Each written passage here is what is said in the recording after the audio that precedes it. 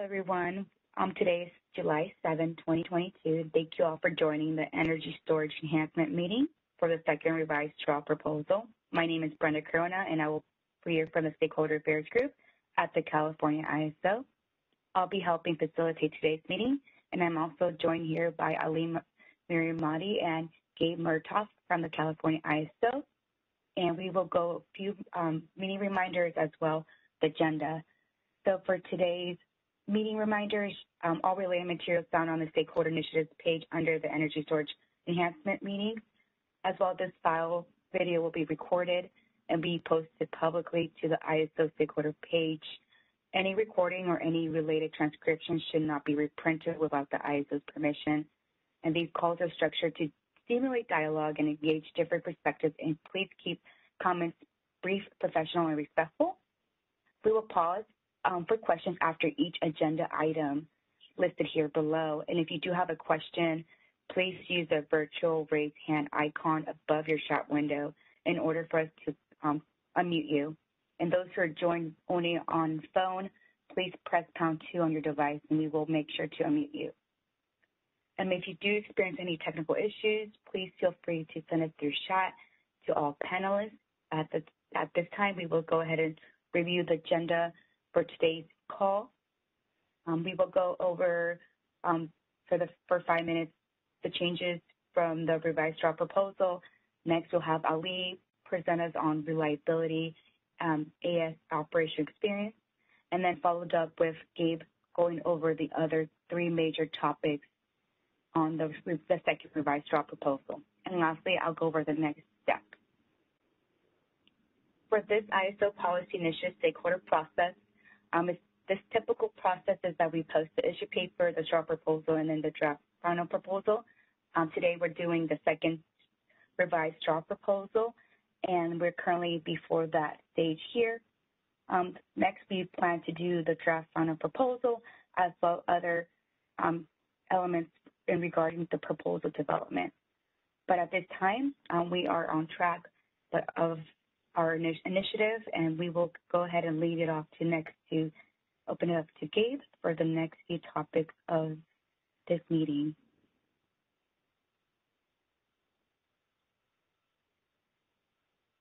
And then for the timeline here, we have, um, oh, there you are, Gabe. Can we, oh. Thanks, Brenda. Um, sorry, just getting my, getting everything, or trying to get everything unmuted here. Here we go. Um, there it is. Okay. So uh, we are currently here. Uh, we just posted our second revised straw proposal on the 30th of June. Um, we're having our stakeholder meeting today on the 7th.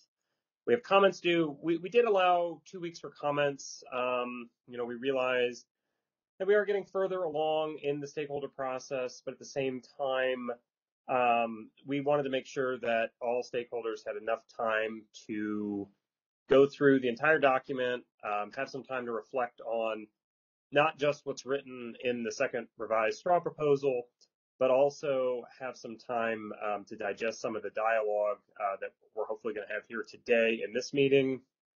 And then um, we are planning still to take this to the Board of Governors meeting in October of 2022, which means, you know, unless there's major changes to the proposal, um, we'll be publishing a draft final proposal in August. That meeting will have the same kind of follow-up that this meeting has, where we allow comments, and then we'll be hopefully um, preparing and posting a final proposal in, sometime in September, um, prior to that October 2022 board meeting. Um, and, and that's how we're planning to progress on this timeline. Um, the other thing I would say is, and why don't we advance the next slide, is that we did take a, a very serious look at stakeholder comments and feedback from the last version of the paper that we submitted. And I think we also had uh, quite a bit of dialogue with uh, individual and groups of market participants outside of um, the, the, formal stakeholder comments process and I think the feedback that we got both in the formal written comments and in uh, the external conversations was that the ISO really needs to think hard about how we're planning to evolve potentially the non-generator resource model. And if we're thinking about developing a brand new model, um, I think the, the, new model we've been calling the energy storage resource model. Um, if, if we are thinking seriously about evolving that or developing that, um, we really need to roll up our sleeves, figure out what's going to be the most beneficial aspects of either improvements to the existing model or potentially introducing a new model, um, and where stakeholders think they can get the most gains from. Um, but at the same time, you know, it's it's very unlikely, and I think I think we here at the ISO recognize this as well, that we wouldn't be able to have that robust discussion and outline all the things that are needed in the new model and meet this um, deadline to get to an October uh, board date. At the same time, I, I think the feedback that we got from stakeholders is that a lot of these reliability issues and certainly the issues around the co-located model are things that are incredibly important, uh, very high value and high impact. And if we could get those implemented sooner and get them, you know, kind of keep them on track to be developed as quickly as possible, I think there was a lot of drive um, to have that as well. So with that in mind, um, what we're planning to do is start a second stakeholder initiative. It's, it's going to be called something different. It might be storage modeling enhancements. It might be called something similar to that. But essentially, there's going to be another stakeholder process. Um, I don't think we're going to start from scratch from, from, say, an issue paper. I think we're likely to build off of the work that we've already done in this initiative, thinking about new and evolving storage models. Um, but I do think we want to continue to engage stakeholders in the process. So, you know, instead of the ISO writing a paper and saying, hey, this is what we think about uh, model evolution, I think instead what we're going to do is um, have at least one workshop, maybe two workshops. Hopefully, you know, we'll be thinking about hosting those sometime later this summer. Um, I think in an ideal world, um, we would potentially host those meetings on site at, at the ISO, but I, am being told that there's a lot of logistical challenges still to doing that. Um, so, so that they may still continue to be virtual. Um, but, but I think that the very first step in that process would be to have um, workshops that, and, and again, try to foster this dialogue between the ISO and parties outside of the ISO and, and really think hard about what we want to do with either the existing model or a new model or potentially both. Um, with that said, that does reduce the scope of this policy. Uh, I think with the timeline that Brenda just outlined, uh, hopefully we will not be going the full two hour, the full three hours today. Um, we, we have the time if we need it, and I'm happy to talk through any of these issues if if there's questions or things that still need to be worked out. Uh, but I think for the most part, most of these issues are things that we've already spent a lot of time on in the past, and it, it's ground that we've covered. Um, I, I, think there are still probably some things to be worked out with the ancillary services proposal, but hopefully we're getting pretty close on some of the other aspects of this proposal.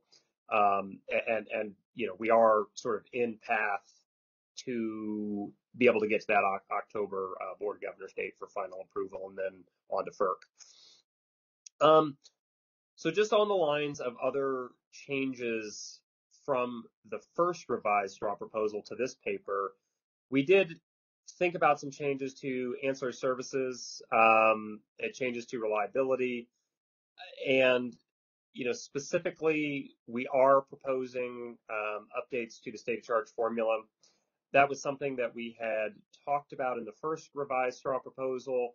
And when we had those discussions, you know, it, it, it, was essentially a few paragraphs in the last paper. Um, and we talked a little bit about it in our previous meeting.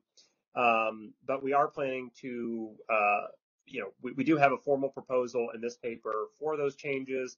And we, we are planning to walk through those today. So that's new content um, that we haven't previously formally proposed, uh, although we have talked about it at a high level.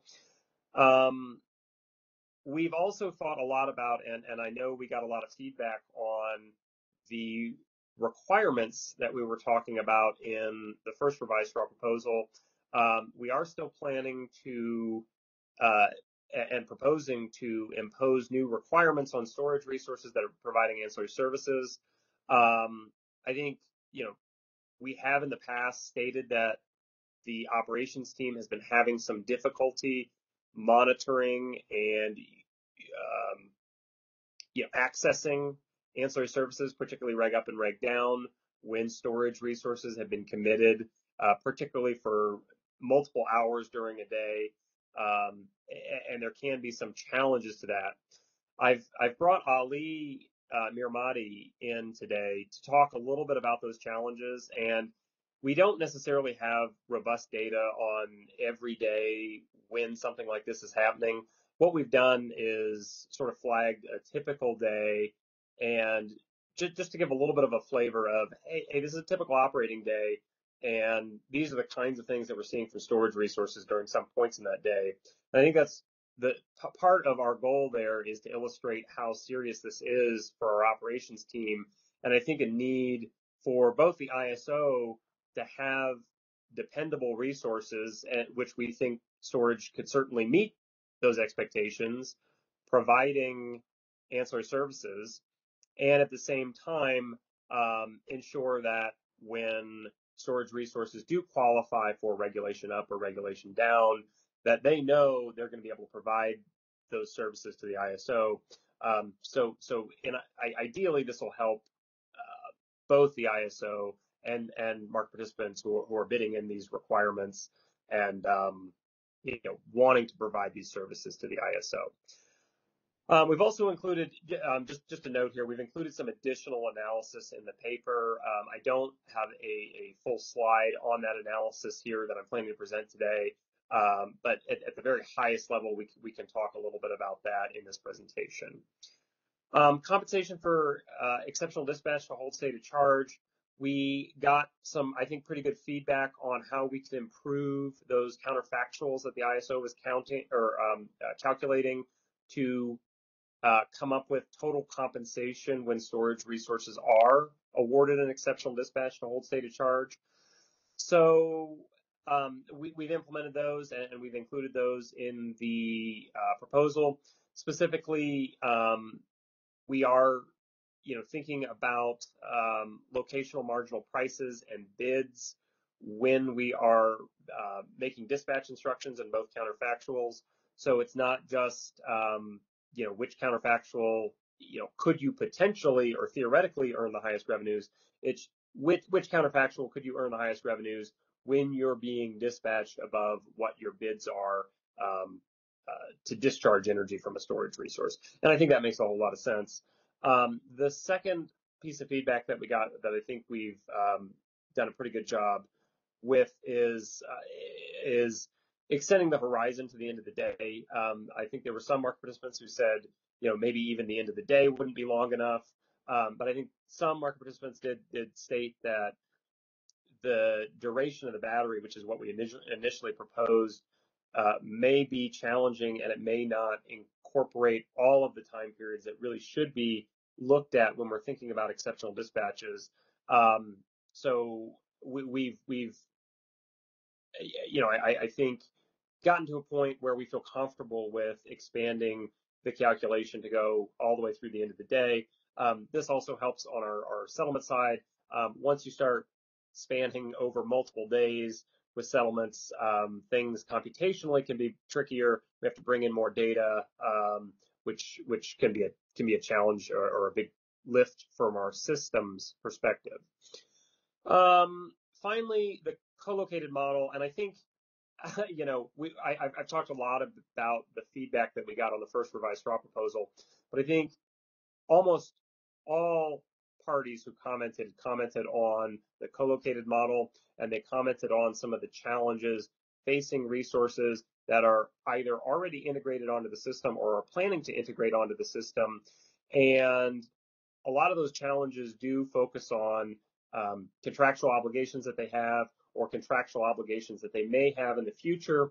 And um, the restrictions that the ISO had originally envisioned um, for this alternate co-located model that would essentially avoid uh, grid charging were just I, I, think I think the comments were basically that that those weren't workable or they'd be very difficult for most resources. Um, so what we've done is we've sort of reimagined this, and I think essentially we've dropped all the restrictions on being able to participate on the ISO grid uh, with a co-located model, and um, we'll, we'll, talk about that at the very end of the presentation. Um, so, uh, you know, maybe I'll pause real quick, Brenda, to see if we have any questions on the line. Um, let's not uh, have questions on content of the presentation because we're going to get into more detail on all of these sections later in the presentation. Uh, but if there's any comments or questions on process or um, maybe maybe just generally uh, ISO feedback, that sort of thing, I, I, think we could listen to those now. Um, but if, it, if it's questions specific to content, like you want to talk about ancillary services or something, let's save that until we get into the sections. We do have Alva from PG&E. Right. Um, let's double check. Alva, we're going to have a, your online mute unmuted. So you guys can go ahead and unmute. Yes, Alva, good. Can you hear me? Yes. Yes. I was successfully unmuted. Thank you. And I, and I will keep to your request there, Gabe. The one item that I feel, uh, because of the these everything to do with storage is is uh, there's a lot of moving parts. It's important in my mind to keep them all in one place. Mm-hmm. Uh, I'm concerned that the uh, the uh, issue of uh, real-time settlements, which might also have an effect on how real-time storage is optimized, is in the pricing enhancements initiative. In my opinion, yep. that should be part of this initiative. It should not be. It, it's it's distracting and it's it's also concerning that it's being separated. So that's my only comment at this point. Okay. I think this is a great great scope otherwise. Yeah, yeah. Thanks, Alva. Um, I, you know, I worry a little bit about. I, am obviously very involved in the price formation initiative, and we have a meeting coming up on that. I believe next week on Tuesday. Um, I, I, I kind of worry about the scope of that project because there's a lot of really meaty topics in there. Bid cost recovery, to me, seems like it's a little bit of a better fit um, in another initiative rather than this initiative because it does touch on other resources outside of storage, and we want to think holistically about you know how it impacts gas resources, how it impacts other resources on the grid. Um, but but your point is well taken that this is an issue raised by the storage community. It is something that they've asked us to address. Um, but but I think at this point the home is going to be price formation um, yeah. right now. Yeah. I, but I want to point out that really, and I thought the presentation that was done by the gentleman the last time that was excellent because it, it made it clear to me that it's not really a calculation after the fact. It's a question of how the optimization is done specifically for storage. And I think that's why that part of it should really be in, in scope here. Not necessarily, you know, settlements calculations, but the idea of whether you're going to optimize, uh, you're going to give the, give an, a battery the option to be optimized strictly yep. within the hour or over the horizon. That's not a, that's not a BCR question. That's okay. a question of the storage model in my mind. Yeah, yeah. So I, I think I think that's a good point too. Um, I, I think my my other and, and final piece of feedback on this would be that we, you know, likely because of the lift of something like mm-hmm. that, and I and I think probably okay. the amount of discussion that we'd still want to have on something like that, um, it probably doesn't fit best with this proposal. It would probably be something like a phase two, or maybe maybe That's something fair. to discuss um, at a later initiative. And there may be there may be things out of this that don't get right. implemented immediately as well. I yeah. just think yeah. you should sort of think of it in terms of storage modeling. Uh, you know, how, yeah. however that gets modified over time, it's not really a, a, a fundamentally a price formation issue. So thanks, thanks for listening to my comment. I appreciate no, it. No, th- thank you for bringing that up, Alva. I really appreciate it. And, um, I, will certainly keep that in mind. And as we interface, you know, with senior leadership here at the ISO, we'll, we'll, bring this up to them just in terms of where they want to see certain issues tackled. And then we'll certainly have those internal conversations uh, with the price formation team.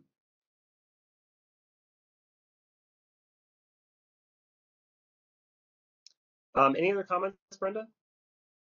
We do have one more from Carrie Bentley. See, um, um, Shreya, can you go ahead and unmute Carrie Bentley from WPTF? Hi, this is Carrie Bentley from the Western Power Trading Forum. Um, so first of all, thanks, Gabe. I think this is a great scope and great direction um, for the initiative in general.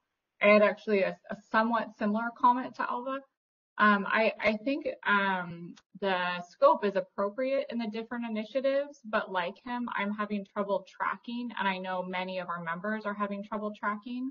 So I just have a practical suggestion, and maybe other stakeholders in their comments can include other practical suggestions.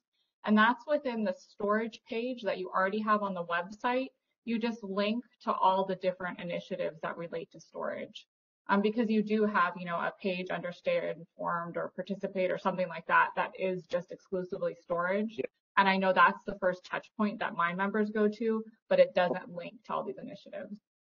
That might help. Great. Yeah, that, that's really great feedback, Carrie. Thanks. Um, I'll certainly look into doing something like that. I, I think that would be helpful as well. Thanks, Gabe.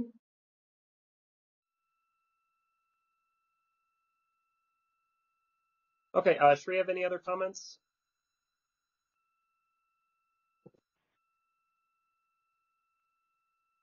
There's no comments.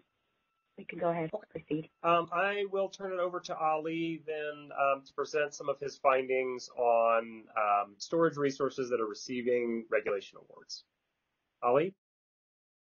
Thank you, Gabe. Uh, good morning. Uh, my name is Ali Miremadi, and um, I'm in Infrastructure and Operations Planning Division. And as part of my responsibilities, um, I get involved and engage with low-level events and investigate them and try to improve our process, systems, or um, people um, training that might be needed to eliminate um, what I call landmines within within our, uh, our operations. And about a month ago, uh, system operations approached me and asked me if I could do um, if I could look into uh, some of these storage units, reg up and reg down performance and get to see if there are ways that we can improve um, the performance of the storage units.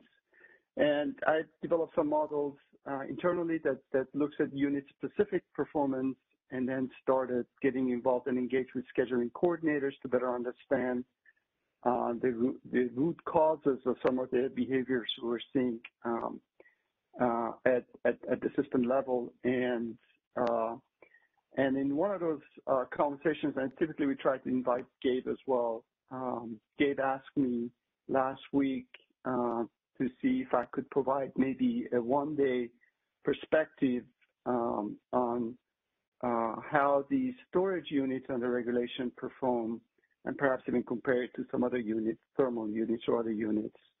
Uh, to that end, uh, if I could have the next slide, please. Um, uh, I developed a model that we can now run on a daily basis that, looks at the performance of the storage units. This is uh, 628 last week. Um, randomly picked the day. It was actually just based on when Gabe asked me. It was the first day that we actually developed the model that we had data for. So we just ran it for that one day. And for purpose of this stakeholder meeting, just um, included the uh, data to in, in, these slides. And what you do see here is um, uh, uh, four-second data, and uh, this is only for the storage units that were on regulation at that period of time. Now, uh, units come on regulation and go off regulation. This only looks at the uh, deviations for the units that were on regulation and they would receive the set point, a regulating, uh, uh, our, our, AGC send out a set point to the unit and the deviation of the unit, excuse me, from that set point. Um, and all the positive deviations were aggregated on, and, and that's the orange line. All the negative deviations were, were aggregated, and that would be the blue line. And I uh, elected to just do a deep dive uh, on um, one of those um, four second uh, uh, data points, and that was essentially 1059 uh, 44, which was we saw a 140 megawatt deviation um, uh, from set point from the storage units. Uh, that would be essentially our ending 11 uh, interval for RTPD, um, interval four awards that went out to the regulating units. At that interval, there were 28 storage units that received reg down awards. Um, and we had procured uh, approximately, I think, 930 megawatts of reg down. And there were four other units um, outside of uh, storage uh, that were also awarded reg down to the tune of, I think, I think the storage units got about 600 megawatts of reg down, and, and then we had thermal, one thermal, two hydro, and one dynamic that received 330 megawatts of reg down. And um, and then I did a deep dive on the logs as well, just to see if the operators had had indicated anything on that day. And it turned out to be a quite eventful day for the operators as well, in that they, um, uh, at approximately 10 a.m., started notifying one storage unit that they were not following their set point. And after several notifications, they forced the unit into a buyback position. And um, and then later, uh, at, at, at, approximately, uh, I think they had a second unit that they had to interact with multiple times and force it back into a buyback position, which was at 1045. Uh, that log um, was recorded at 1045. And then another one at 1136 and another one at 12, 1230. So there were four storage units that received multiple interactions from the operators and ultimately were forced into the buyback. And what I found out was what you do get is in, you know, the first unit that was forced into the buyback, uh, I believe it's around this time frame, was a smaller unit that was, again, not following the set point. And the second unit was right around here. This, what you see, deviations here, which was accounting for approximately 50 megawatts of the deviations and ultimately was forced into a buyback. And the third unit and then the fourth unit uh, were later uh, in the day. Uh, I did not look at those intervals. I just um, uh, uh, letting you know that there were th those were four uh, four of the units that were actually forced into the buyback. Storage units were forced into the buyback um, in, those time frames. And as you know, uh, you know, we're getting into the summertime and there's a lot for the operators to do in real time. And this is not something that historically they were forced into uh, uh, getting engaged with. I mean, I've been looking at logs for a good 10 years and um, uh, this is becoming a more frequent event lately. And I have to emphasize that this day was not picked because uh, it was a worse day or or or or not. I, just randomly went with the latest date that I had data on, and uh, based on interaction with one of the operators, they said this was a typical day, um, not a worst, not the best, but a typical day that they do encounter. Uh, can I have the next slide, please? Thank you. So uh, looking into that one interval, uh, there again there were 28 units uh, under storage, and and most were behaving well. Uh, but all of those deviations that you saw in the previous slide for that one interval uh, were really can be more than 90% of those deviations can be can be attributed to five units, five storage units, one of which was forced into a buyback uh, because they were just not responding at all. And then for that same interval, there were four other units outside of the storage that got the reg down award. Um, and, uh, and you can see the relative uh, deviation that were experienced uh, by, by the units. And over here, what, what you do see is the four units, two, one was thermal, two hydro, and one dynamic, relative deviation from set point. And then over here, you can see uh, the relative devi deviation for, uh, from set point for the top five uh, deviators on the storage side. and um, and and and I and this is what the operators experienced and wanted to kind of um, I guess for me to investigate and and get involved and engage with the units that they they were uh, uh, identifying as not performing uh, to find out what what what the root cause of uh, non-performance was. So this is kind of like a highlight overview of um, one day again, I want to emphasize we didn't pick this day because we thought it was one of the worst days. From what I've heard from the operators, this was one of the typical days. And as you can see, storage is an important part of our equation today. I mean, we had 28 units that, were selected for rack down versus four of other technology types or uh, fuel types, I should say. Uh, so storage is becoming a bigger, bigger and a bigger part of our daily lives. And it's important that uh, we get the uh, equation, whatever uh, the, the success is here, right in order to get uh, the uh, units performing well under regulation. Uh, with that, I want to open it up for any questions on the two slides I presented. We do have one question raised first by Susan Snyder from Phoenix Consulting guys go ahead and unmute Susan for her question. Hi, can you hear me okay? Yeah, hi Susan. Yeah, I can. Ali. Okay, I had, um, this is very interesting. Um, I just had a couple of, of clarifying questions. Um, first of all, it looks like you're having issues with reg down. Um, are you also having issues with reg up, or is it mostly reg down?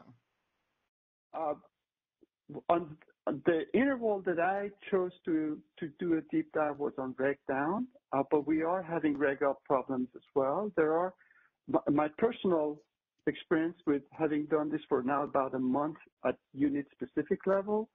Uh, yes, it's either reg up or reg down depending on where the SOC is uh, at the time of the, uh, um, I guess the set point being sent out by the by by the AGC unit.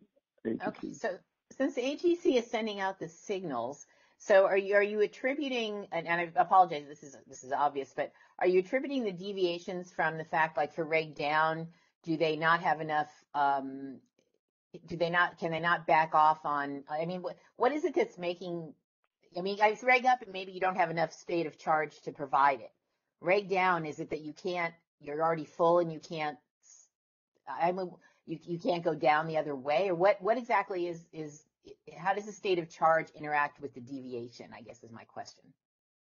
Yes. So I um, first I want to clarify that um, I, can provide you my opinion, but uh, I think uh, that the correct answer resides with the unit operators, and uh, I, don't want to kind of uh, imply that I fully understand what the unit operators are experiencing, but what I see from the data, that is correct. Um, they do get to a point where they're not willing their SOC to either get further charged or further depleted, that may not be 100% or that may not be zero, uh, but there definitely is um, so Oh, sorry, I didn't Go ahead, interrupt. Ahead. Well, I no, no, say, I, I, just, yeah, I, I, just wanted to say sometimes um, the data is not as clear cut because there might be, for lack of a better term, a soft cap on where the SOC is allowed to go. Uh, that may not be reflected in the bid or um, that uh, may not be picked up by our market. I mean, when I did a deep dive, I give you an example on one of the units. Uh, the unit um, uh, was essentially, the SOC was essentially full, was at, uh, but it was showing at 90% on our side. Uh, but when you, when I did a historical trend on that unit SOC as a percent of max, uh, they seldom went above 90. So it might not have, been, you know, we may have looked at it and said, well, you had another 10% of SOC, but the unit, for whatever reason, and those are the reasons that I cannot, you know, mm-hmm. further opine on, um, essentially was not willing to go beyond 90%. So possibly it might be a master file issue or something like that to uh, the, charge, the charging range? However you want to term it, it, it is an SOC from my perspective, uh, my interpretation is an SOC issue. Uh, and then there are other examples where we do see 100% of max or zero being reached, where the unit is not able to um, uh, provide the reg. So I, gave you one example where it, it, it was kind, it was kind of I was speculating it was SOC related, and then there are other examples where it, from my perspective, is definitely SOC related.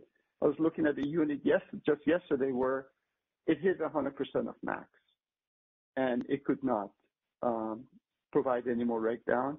And we see it on the opposite end as, well. Uh, the first unit that I actually did investigate and contacted a scheduling coordinator ended up getting to a zero and, not being able to provide. And I wanted to understand how that happened. Why did that happen? And was it the bid that they submitted? Was it the award? And why was the award submitted? And then ultimately the zero um, uh, SOC reached? And these are some of the questions that we try to ask and get to the bottom of in our investigation.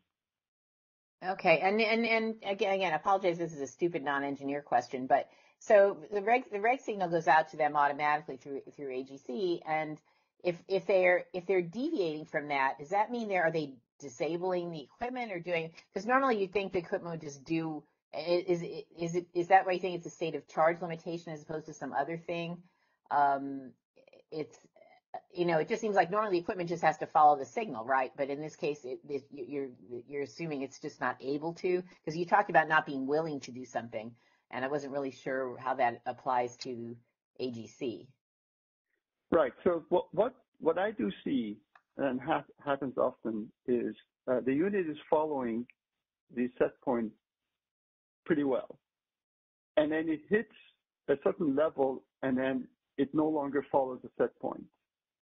and our AGC unit sends sends a signal and keeps sending it, and then it goes what we what what we call from a EMS perspective into a standby, and then tries again, and after a few minutes to to set to to, to move the unit to where the EMS wanted to go, and and that gets repeated, and that could that dance can happen for a whole hour and unless the operator takes action and say, okay, we're forcing a buyback, our EMS continuously tries to move that unit.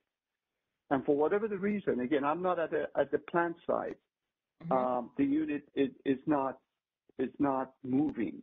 And uh, whereas it was behaving quite well and following the set points point, and then all of a sudden it kicks in. I can tell you, like one unit, um, problems started around 6 a.m. Uh, for whatever the reason. And, and next week I'm going to be contacting the unit to talk to them to understand what goes on at 6 a.m. But some are most are SOC, from what I see is SOC related. There might be a small percentage that there are other issues that are driving the behavior.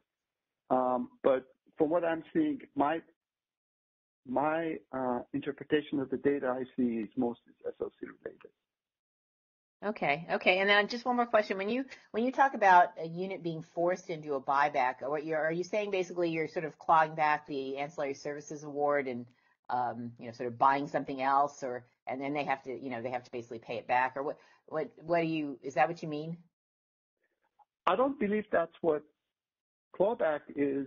Is I've always associated with a kind of a like compliance thing where they we, we go back and take the money away from the last time they were looked at. I don't think we're doing a clawback. When they offer this as a buyback, they're just forcing the market to drop that unit and pick another unit instead um, okay. at the next the unit, RTB interval. Doesn't the unit have to just give back the doesn't the unit has to give back the payment for that hour though, right? I mean, I I, I mean I've used the right term, but I I am not sure about the settlement side of it, Susan. I I have not looked into whether or not um, the capacity payment um, is withdrawn for that hour. But I know that that unit, let's say if it was awarded for mm-hmm. four hours, or it was going to be awarded for four hours, then uh, it, it, no longer, you know, the the market will no longer pick that unit uh, for the next. So essentially, you, you, it gets replaced by another unit. And if if you kind of, can we go back to the previous slide? Uh, Brendan? Yeah, let me let me maybe interject here a little bit, Ali. Um, I, I don't want to go too far afield in this conversation. I, I think the point of what we're trying to illustrate here is, you know, we're I, I, I think the first thing is we're not going out and, and, and cherry picking a day here. This is just, you know, one day in operations from, from just a couple days ago where the ISO operations team saw deviation from those set point instructions. And as we're digging into it, we're finding that that deviation is, you know, is mainly attributable to storage resources. And we believe, and I think this is some of what Ali's saying, that some of that deviation is attributable to state of charge. Maybe not all of it, but but at least some of it. And I think what what we're trying to do here in this presentation is just to illustrate that this might be the reason why the ISO may want to impose some of these rules that we've been talking about and discussing in these meetings um, in terms of regulate, uh, you know, regulation awards that storage resources should be allowed to have or not potentially. Right, and I want to be clear. I'm not. I'm not questioning the veracity of the data or the or the or the you know the issue. Okay. The issue. I just want to make sure I understood the statement. So that's all Yeah. the only reason I was asking. Okay. Okay. All right. Well, I'll, I'll let, let it go then, and and uh, you know look forward to the rest of the presentation. Thanks.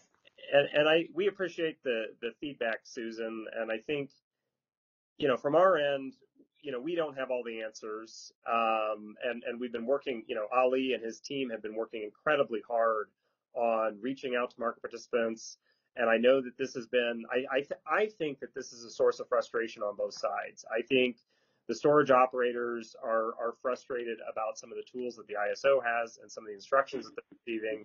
And I know that our operations team is frustrated and, and frankly concerned about reliability um, because when you have, you know, when you've procured what 900 megawatts of um, an ancillary service and 150 megawatts don't show up in one particular, you know, we're looking at, I, I think, a four second slice here uh, for these little lines or, or something like that.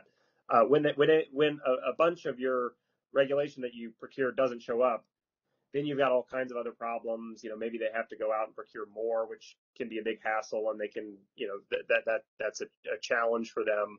Um, so I, I think we're just trying to, you know, get, get the dialogue going here and, and and be a little bit more illustrative of what our problems are. Okay. I, I appreciate that. Thanks very much. No, thanks, Susan. Um, Brenda, I think you noted that there may be a few other hands up. Um, I, I, I know we're, I, we, we do have a lot of time today. Um, I, I certainly want to allow everybody the time, time to speak. Um, maybe if we could just quickly run through if, if there's clarifying comments or other issues um, that folks are raising on this. We did have two in the chat that were submitted early on, Okay. and we want to go to those first because they were submitted first. Um, Sure. the first one was from CD McLean from CC. On this slide, how far away in time was the similarly sized positive deviation?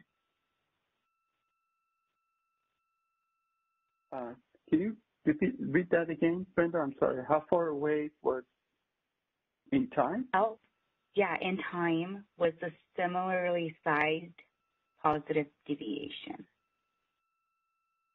Okay, I, I, I'm, I'm going to could have, take a guess. At, yeah, I, I, I want to point out that every bar here is four seconds. Um, but I- I'm not sure if I understand what the nature of the question is. So Um, Ali, I think the the out, you know, we we've got this green arrow pointing towards a, a blue line um, that that's pretty steep in the negative direction, and that's the the 105944 timestamp that we looked at. Um, Right. Just to the right of that timestamp, there's an orange deviation that goes Oh, up I in the see. positive direction. Yeah. That's correct. Okay. Uh, so I don't. I I can go and pull up the spreadsheet to take a look at, but um, I'm not 100% sure exactly if that's the next four seconds or not. My guess would be um, that what you're seeing is um, the uh, that you have a little bit of the deviation that happened here switch over to the positive side depending because if it's at top of the hour, depending on on one or two units on how they were moving. That's, again, a complete guess. I didn't look at that um, interval at all. And that could kind of explain a little bit of the deviation that you see here. Um, switching over to the positive side, depending on how quickly a, unit, one or two units moved uh, at top of the hour compared to their set point. Okay, great. Um, Brenda, did we have one other question? Yes, from Brian Buffalo from Rev Renewables. Um, the question is, did these units have real-time energy bid curves for the full, full capacity submitted? And second is, what specific threshold trigger the disqualification and clawback? I don't know. I did not look into that. And I just looked at the regulation awards in the RTPD to see which units had received the award so I can look at the unit specific information to figure out who was deviating. And as far as the uh, uh, clawback, uh, again, I uh, didn't get involved and engage with that. I don't think there has been a clawback associated with any of these um, deviations uh, currently, or, or I, I, would even guess in recent past. So, yeah, and I think um, I, I, think we're we're mixing and matching a little bit here. Um, what Ali is analyzing is those those four second instructions that um, our AGC systems are sending to resources that have regulation awards. Um, so this is happening even within, you know, as close as you can possibly get to real time. So, so we're doing this every four seconds, and that's the data that we're looking at here. Um, when we're talking about potentially clawing back ancillary service awards in the real-time market. That's happening in the RTPD, the 15-minute market, and and those, uh, you know, th- those are are market um, results that would happen, you know, 38 minutes prior to an actual time, uh, you know, an operational time for the resource. Um, so I, I, I think we're mixing and matching just a little bit. Uh, Brenda, were there any other questions? We do have raised hands. Would you like to go through the four four people that we have um, waiting for the? Yeah, if if if we've got just a brief, maybe maybe just a question or a comment from from those folks, um, I'm happy to hear those. Okay, everyone. So for those, um, we're going to start with Carrie Bentley from WPTF. Please keep your comments brief if you can. You're unmuted. Of course. Oh, thanks. Uh, Carrie Bentley, WPTF. So thanks. I think this is an excellent example of the consequences of not modeling state of charge and day ahead. So I understand why you're presenting this. Um, just for uh, reference, though, I wanted to quickly go through the reasons why this could be occurring from our perspective. First, Ali, you noted physical limitations, but then there's two others that have different um, I guess, different market designs that could solve. So I think they're important to look into as you continue your analysis. Um, the first one is being unwilling to provide regulation once they hit a certain state of charge. So as you articulated, that one resource that had that soft cap of 90%, um, your proposal that you're about to go through, I don't think will fix that issue. Um, just accounting for state of charge and day ahead won't address the issue that people have different willingness to provide AS at different state of charge. So I think that's just something to note for the next initiative. Um, and then the next one kind of relates to the Rev Renewable comment. And that's that um, on this day in particular, I happen to know that there was a, a big price spike in the day ahead market um, later in the evening. Um, and so if someone had an energy award um, a day ahead energy award, they would want to make sure that they were charged sufficient to meet their day ahead award because they wouldn't have wanted to buy that back in real time. So you can't really just look at regulation in isolation. Um, you have to look at it within the context of any day ahead awards they have and their real time energy bid curves. Um, so as you continue the analysis um, and assess whether the CAISO's proposal really will solve this issue, um, I'd really encourage you to start pulling in those day ahead and real time energy bids and prices, because I think it will help you really understand what the resources are doing. That's Thanks, all. Carrie. I, I, think both of those are excellent points. Um, and I do think on our end, uh, we, we probably do need to do more looking at the data and, and have those conversations with uh, battery operators. Yeah, thanks. And then the word you're looking for is no pay. AS in the 15 minute market, if they have insufficient state of charge um, compared to the rules, then they get a, a, no pay, which is essentially a clawback, but yep. the, the term is no pay if you're looking for it in the BPMs. Yep. Thanks, Carrie. Thank you, Carrie. Next, we have Mark Smith from Calpine. Let's go ahead. Hey, Ali. Um, I have a pretty simple question on page eight. Um, and it's in your data, you show that the reg award here, and this is reg down, is 20, but the deviation is minus 47. How can the deviation be greater than the award? Yeah, thanks, Mark. Uh, so I looked into that, um, and what, so let, let, us just make a very simple um, exercise here. Let's let, let's say that the um, day ahead award was around zero for the unit, and at that point it provided a uh, 20 reg down, which means it's willing to go down to negative 20 uh, or charge for 20 megawatts if needed. And and at the time of the deviation, the unit was um, at uh, negative 67, or actually negative 47, um, which means that it was charging way beyond where the reg was, and the EMS was trying to move it back to zero because that's where uh, the, the uh, day ahead um, uh, dot was. That's where the dot was, either from day ahead or their energy bids, and um, to start to position the unit for providing regulation breakdown. And the unit was way past where it was supposed to be. So the deviation that gets recorded that we see is at negative 47 compared to where it was supposed to be. And the set point kept trying to move the unit back to where where it needed it to be, which which was at this juncture around zero, and the unit was at, neg- at negative 47, charging at 47 megawatts when it should have been just just at zero. Okay, I, guess that goes back to Carrie's question because I mean this isn't this is a deviation to the to the reg down award, but it's an imbalance to the energy bids also. It goes beyond the capacity award in reg. Um, so well, I think. I, yeah, you're, you, it, it, if I may say, the, the so our EMS looks at that unit and says, "This is where you're supposed to be, and I need you here so I can move you," and the unit is not, and it's not responding to where it, it is supposed to be.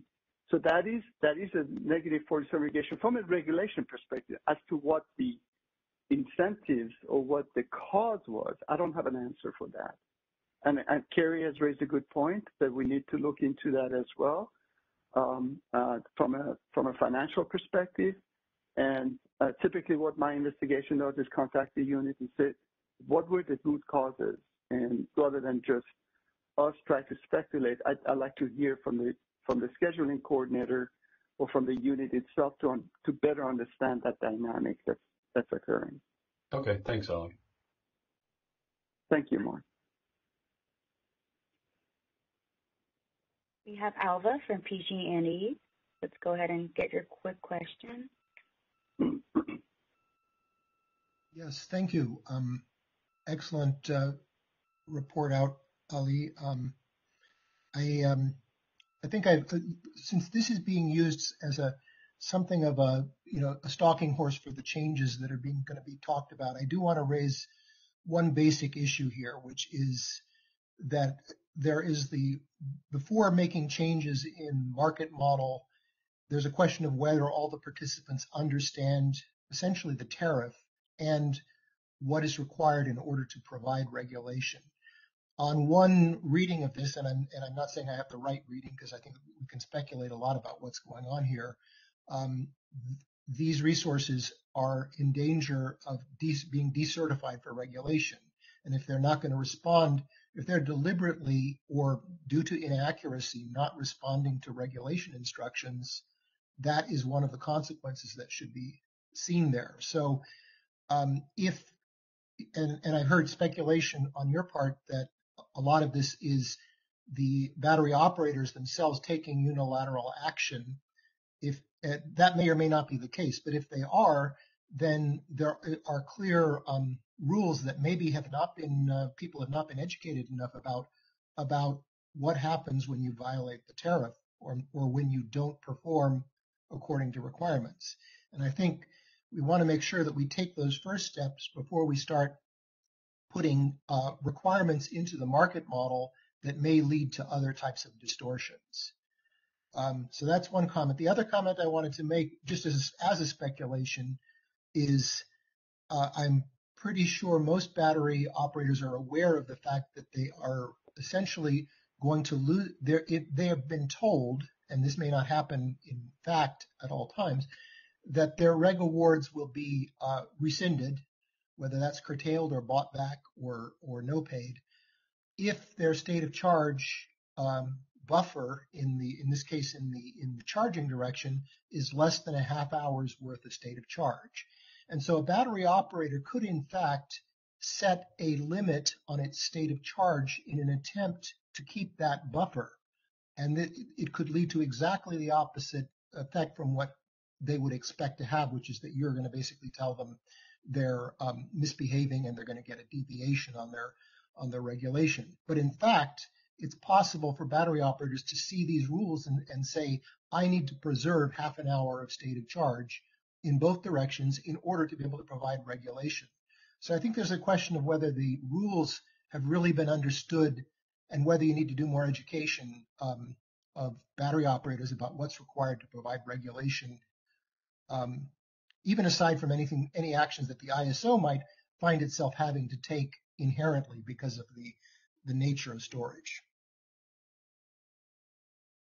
I think you're right on Alva, um, and and that that's that was part of my one of the hypotheses I was trying to pursue. The challenge I face is I have to interact with a scheduling coordinator who who most of the time my experience is do not necessarily understand what what you just talked about from from a plant operator perspective. And and I, I, I think I think you raised a very valid point here, but I don't have uh, uh, I, I, just started this process. I don't have enough data point to say um, you're right on. That's one of the strongest hypotheses that I'm trying to pursue, and and I'm hoping that the scheduling coordinators will have the proper interaction with the plan operator to make sure that we we all understand um, the behaviors and uh, and the dynamics at play here. Yeah, and I applaud your efforts. Thank you. Next Next, we have Cody Hale from Rev Renewable. So we just have like, we're going to cut off at 10.05. So Cody, go ahead. Two minutes. Thanks, Brenda. Um, hi, Ali. Hi, hi, Gabe. Um, so just, uh, Ali, you know, great presentation here. I, agree with what you have shown, you know, from the resource operator's perspective. You know, th this looks just like stuff that we have experienced, you know, many times, you know, hundreds of times going back over the last few years on, at particular intervals. Um, I, do want to echo the one comment from, uh, I think it was Carrie, that um, you know the proposal here may not necessarily solve the problem. I, I, I think um, you know limiting day-ahead awards will certainly help, and, and, we've actually been in favor of, of limiting day-ahead awards because um, there is some low-hanging fruit there in, in fixing that.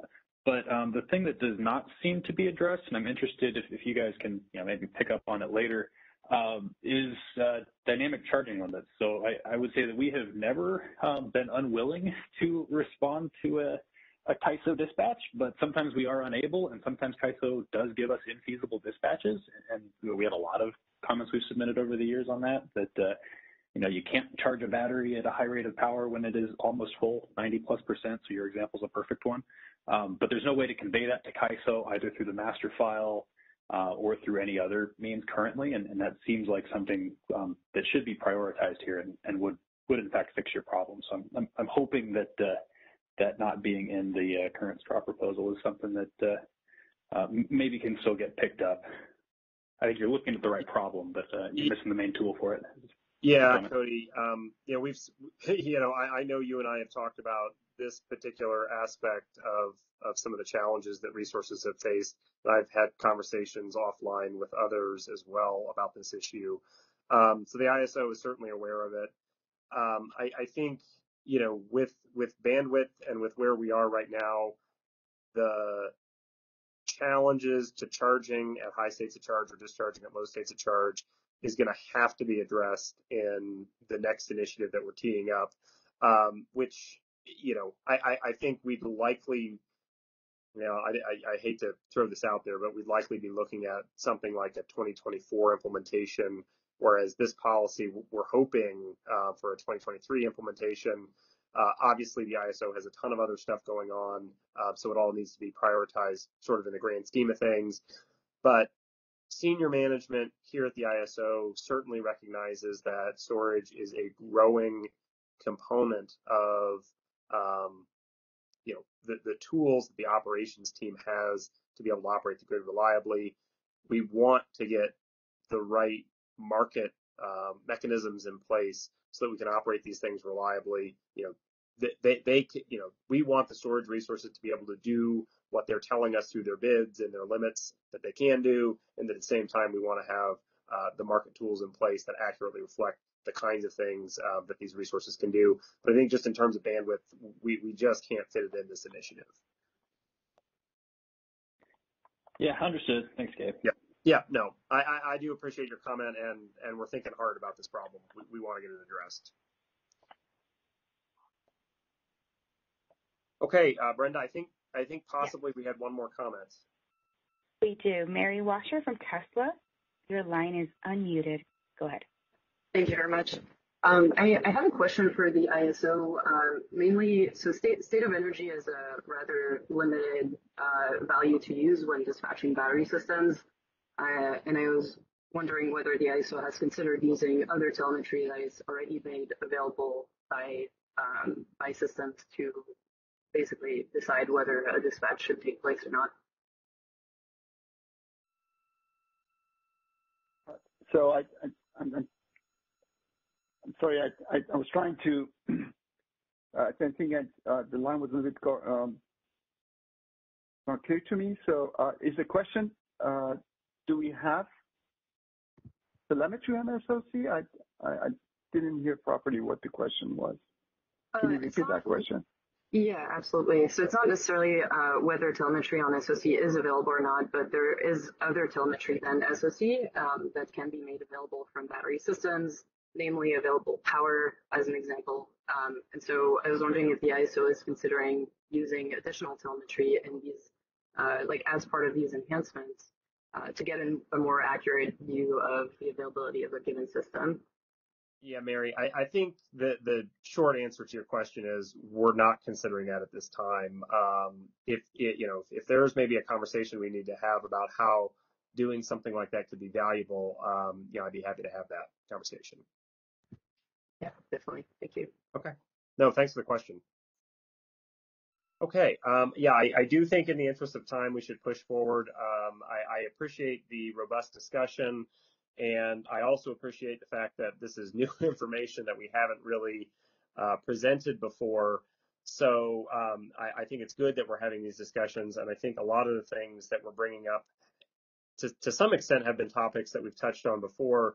Uh, but I think, you know, the ISO is still learning. I think market participants are, are engaging more and, and we're starting to hear and receive more clarity on some of these issues. So I do think that this discussion is worthwhile. Um, so, so I appreciate everybody uh, joining in in this uh, conversation. So let's get into the proposal here. So this is the meat of the discussion for today. Oh, I can turn on my camera. Let me see if I can get this going here. It's... Okay. So um, this of the discussion today, and essentially um, we are uh, continuing to make proposals in the ancillary service space specifically, um, we are, you know, we, we know that we're having issues um, when we do have storage resources awarded for ancillary services. Um, there are times when they are not delivering energy that we think that we think they should be. Um, I, you know, we just had a really great conversation about some of the reasons that that might be uh, contributing to that. Um, two potential ideas that we've had and that we've been thinking very seriously about are, first of all, ensuring that um, our markets are accounting for state of charge when resources are awarded regulation up and regulation down. Um, this is an oversight uh, that's been in our market since we developed the initial model for non-generator resources and, and the, the storage resources specifically. Um, basically, the way that state, the state of charge equation is updated only depends on energy awards um, and doesn't have any impact from uh, state of charge. The other thing that we've been thinking a lot about, and uh, we had a proposal in our first revised straw proposal, and we've been discussing, um, I, I think since early on in this process, is something in real time that sort of requests that storage resources not be fully encumbered by ancillary service awards. So for example, you know, a plus or minus 100 megawatt storage resource could potentially receive uh, 100 megawatts of regulation up and 100 megawatts of regulation down. And once that resource has, has either reached full state of charge or minimum state of charge, or potentially some uh, you know, midway threshold point, they may be unable or uh, unwilling to provide uh, regulating services in one direction or the other after that point, which of course could lead to deviations. And one of the ideas that the ISO has had to help try to address that is to require energy bids to accompany um, ancillary service bids, which means that there would be some portion of the resource that would be unencumbered um, and, and, would and the market, uh, the five minute RTD market would be able to dispatch. Um, yeah, so those are the two proposals that are included in in this initiative. Oh, sorry, um, I think we are one slide behind here. So if we could advance, I, I think twice at this point. Um, so I, I, apologize. I was not not looking at at the right deck there. Um, so this is a formulation that we have today of the state of charge. So basically what it says is that the state of charge for a particular resource I at a particular time T is based on that same resource's state of charge in the previous interval. And it's impacted by two different things. It's impacted by the dispatch instructions to discharge, and it's um, impacted by the dispatch instructions to charge. So the, the P with the, the positive sign and the P with the negative sign. Um, obviously, when the resource is charging, uh, there's some round trip efficiencies. So, you know, a battery that charges 10 megawatt hours may only be able to uh, generate 8.5, for example, megawatt hours at a later point in time. So that's that eta term that would be specific to a particular resource. The ISO is proposing to expand this formulation. Uh, we're not uh, completely reinventing the wheel here. We're adding two additional terms. Um, so we're still going to have energy awards for discharging energy and energy awards for charging energy. Uh, but in addition to that, we're also going to have uh, regulation up awards or RU and regulation down awards RD. Um, and those two components of the state of charge formula would have a value mu, uh, mu1 and mu2 respectively attached to those figures, and those are essentially just multipliers. Um, so we've gone through, and I included this data in an appendix in the second revised straw proposal, and essentially what that appendix outlines is that typically if a resource receives, you know, for example, a 100 megawatt award for regulation up, on average, that resource um, would would discharge by about eight megawatt hours uh, per hour that it receives that award. Um, for regulation down, the numbers are a little bit higher, um, which I thought was a little bit interesting. But essentially, if a resource receives that same 100 megawatt award for regulation down, on average, we would typically expect that um, the resource would charge by about 19 megawatt hours. Um, so, you know, obviously, I think what this data clearly shows and you know, what we've been talking about is that regulation up and regulation down awards don't necessarily have a specific deterministic impact on what state of charge is going to be, but we can estimate on average what we think those impacts are going to be. And on average, it, it's typically about 8% for reg up and, and about 19% of the award for reg down. And we should start the ISO proposal is to start including those um, multipliers and and regulation awards in the calculations for state of charge for for storage resources. Um, the other thing that I would just note, and you know we've had a, uh, a fair bit of discussion about this internally, is that um, awards for regulation impact state of charge differently for different times of the day. Um, typically on times of the day when conditions are a little bit more stable and you don't see, you know, as much need for ancillary services, you don't see as much drain on state of charge when storage resources are awarded ancillary services. Um, so there could be a potential expansion to this formula where instead of looking at, you know, an average across all hours, um, you might specifically say, well, if this is a regulation award in hour ending 18 when things are pretty volatile, maybe your uh, mu values are a little bit higher. If this is an answer service award in hour ending, I don't know, say say 10, uh, when when things are pretty stable on the system or hour ending 11, um, maybe the mu values are a little bit lower. Um, and I, I, think you'd see, and, and, I showed some of this data in the appendix of the paper, um, that those new vari variables could vary. So I think that's one of the things that we're looking for feedback on. Is it easier just to set these things at an average and, and leave them alone so people know what the expectations are? Um, or is it a little bit better to get more granular and, and try to drill in to, to what the expectations really are um, closer to an hour by hour um, um, uh, interval. The other the other thing uh, that's interesting about this data. Well, yeah. So so I, I think that's where our proposal is on um, the, the state of charge formulation. The second proposal is on the next slide, please, um, where we are still talking about state of charge.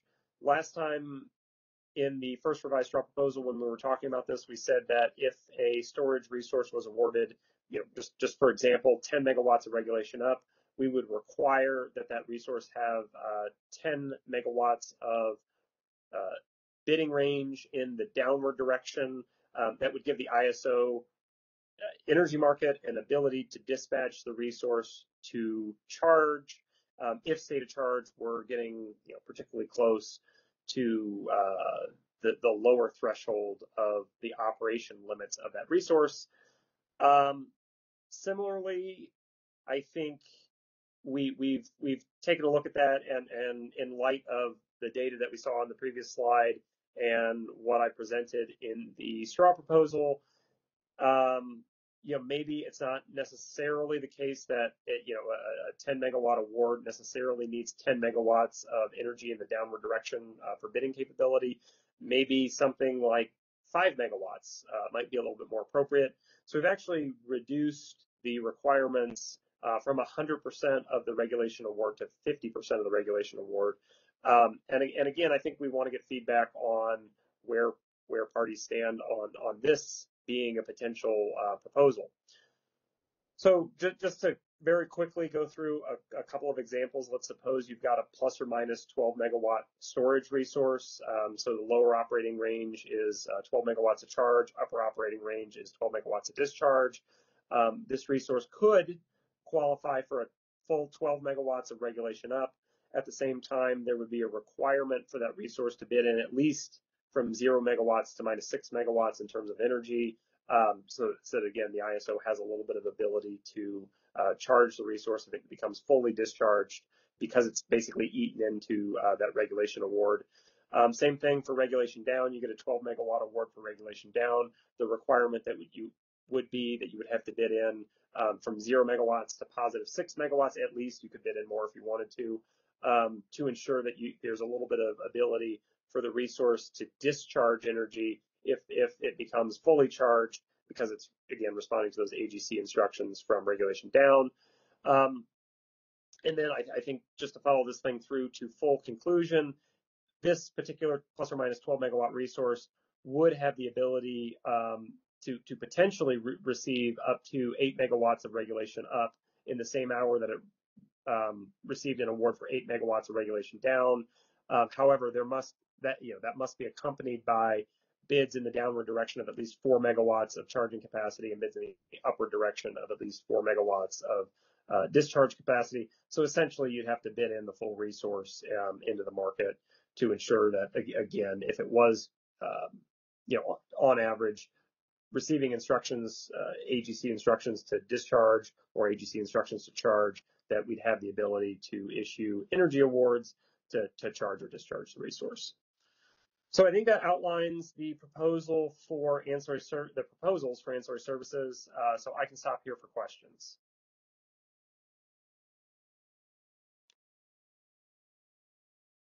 Okay, um, I do see a couple of callers in the queue. Uh, moving on to our first caller, please go ahead. Your line is unmuted. Hi, Gabe. This is Alva from PG&E. Um, I think these are both uh, good heuristic approaches to dealing with the, the CAISO's issues. Uh, it should be pointed out that they're both addressing something of the same problem. Mm-hmm. And so there's going to be an overlap, and it's problematic when you bring in two different solutions to the same problem at the same time. Um, I think even that is, you know, tolerable as long as the ISO has sufficient control over the parameters that are involved here. So I, I really would uh, I, I, don't believe these should be fixed parameters. In other words, I don't think you should say 50%. I think you should um, design this as flexibly as possible so that potentially you can change it to 25% or 100% or yeah. 0%. It may be hourly varying. Um, but it, it's important that it be predictable, that it be understood by participants. But that doesn't mean that you shouldn't be able to um, revise these parameters over time. Mm-hmm. And so I, I really hope that that's the case both with this, uh, you know, the uh, encumbering of bids and also with the previous one mm-hmm. with the percentages that are used. And again, I, I mean, I, I, think one of the consequences of the percentages is it's going to create opportunity costs that don't exist now for participants where they're going yep. to know that a, essentially a portion of their state of charge is being encumbered if they get a, a regulation award that may not actually be used in practice. And so there's an opportunity cost there that, you know, in other words, um, they may have some energy um, that is reserved essentially because of based on this process, and then it doesn't get used or it's not available at a time when they would like to use it. So because these have real um, consequences for the economic behavior of batteries, I think it's really important that the the numbers be available ahead of time, sufficiently ahead of time that people can bid accordingly, but also that the ISO be able to um, modify them at will based on the uh, yeah. success of them or whether there are new reliability issues that come up. Yeah, um, I, I, think that that's a really good point, Alva. And I think with the proposal that we were talking about for um, the formulation for state of charge, the analysis that we've done to this point is, is I, I, would categorize certainly as preliminary. Um, that's what we found looking at three months worth of data in the spring. So it, it's basically a re- recent three month panel, um, and we pulled every single storage resource that's received any ancillary services awards, reg up or reg down during that time, and we've analyzed what the impact of state of charge is on those resources. Obviously, the makeup of our um, you know storage fleet is changing. Uh, we're seeing more resources uh, integrate onto the grid. Um, system conditions change season to season. Um, the data shows that, that this relationship changes hour to hour. Um, and, and I think what you're asking for is exactly what we would intend to do with this formulation. And specifically, um, I, I, think what would likely happen is that these mu values would be something that would be uh, specified in a business practice manual. And as we get more experience as time goes by, as, as system conditions change, as seasons change potentially, um, we might have specified, hey, this is how we intend to change these values. And of course, you know, if we do more analysis and we find that um, resources you know, are discharging more than we initially thought or less than we initially thought, um, we, would update those values and, and sort of have a process for refreshing that. Um, I, I, agree with you. We, we did not form, formally include that in uh, the proposal, but I, th- I think that's as, as we move into the draft final proposal, that that that is additional detail that I'd like to include. And certainly, um, when we start talking about implementation details, that would be a topic that we touch on. Um, you know, how do we keep these, the, this information as fresh as possible? With you know, I, I think your comment on the second proposal is also valid. Um, I think, you know, what we've seen from the data is, you know, if, if you get a 10 megawatt award for reg, you certainly don't need to have 10 megawatts of bid. in order to ensure that you have state of charge to be able to provide that regulation. Um, I, I, think it's a little bit trickier because instead of wanting sort of an average to capture essentially what you would expect um, the resource to be charged or discharged by from a regulation award, you really want kind of an upper bound or an upper right, limit. Uh, and maybe it's a 95% or something like that. Uh, but I think we need to think hard about how we would want to set that. And, and yeah, I mean, maybe this is something that you could provide some uh, feedback on, but um, we, I, I, think we might be a little bit concerned if, if this target were constantly fluctuating. You know, if it was 45 one month and then 55 the next month and then 30 the next month, um, that might be hard for market participants to kind of rationalize and keep up with. Um, but at the same time, I, I, totally agree with you. We don't want these to be overly burdensome, but at the same time, you know, the ISO want, wants to get performance out of these resources, and this is one of the ways we think we can do it. I mean, I, I don't think it's that big of a, a, burden because basically, you know, if, if resources are basically having to bid their full range, you're kind of in a worst case, then the ISO doesn't have to mm-hmm. use that. They can they can award more or less depending on what is actually um, operationally required. Um, but the you know just to point if, if the first half of this were implemented perfectly, which it won't be, of course, but if it were implemented perfectly, you would have already guaranteed that no resource was going to hit its bounds. And so in that case, you should be awarding maximum regulation mm-hmm. on all the resources because you, you've already captured by, by you're, you're going to constrain the awards based on the state of charge rather than on this, on this basis. So it's, it, they're get, these two things are going to interact and, um, you're right now, this second part may be a great solution given that you haven't done the first part. But if, uh, if you do the first part, it's yeah. going to be uh, overkill, I think. So. Okay. Yeah. Um, we we've had similar conversations internally, um, and, and, we are thinking hard about that. Um, so we'll, we'll, continue to to have those discussions. Thank you. No, th- thanks for the comments, Alva. I appreciate them.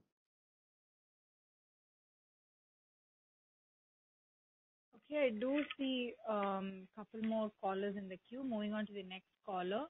Please go ahead. Your line is unmuted.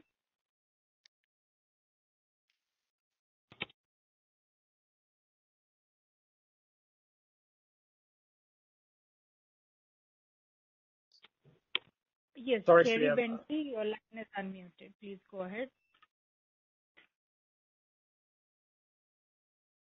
Can you hear me? Sorry, this is Carrie Bentley. Are you unmuting me? I don't have my hand raised. We can hear you, Carrie. Oh, I, I don't have my hand raised. I commented on the chat. Okay. Oh, okay. Um, I saw your hand raised on my end. Now mine. Um, moving on to the next caller. Please go ahead. The line is unmuted. Hi, good morning. This is uh, Sergio Dueñas with CESA. Um, can you guys hear me? Yes, we can. Uh, Sergio, you're a little faint, uh, so if you could bring the mic closer if possible. See if I can do that.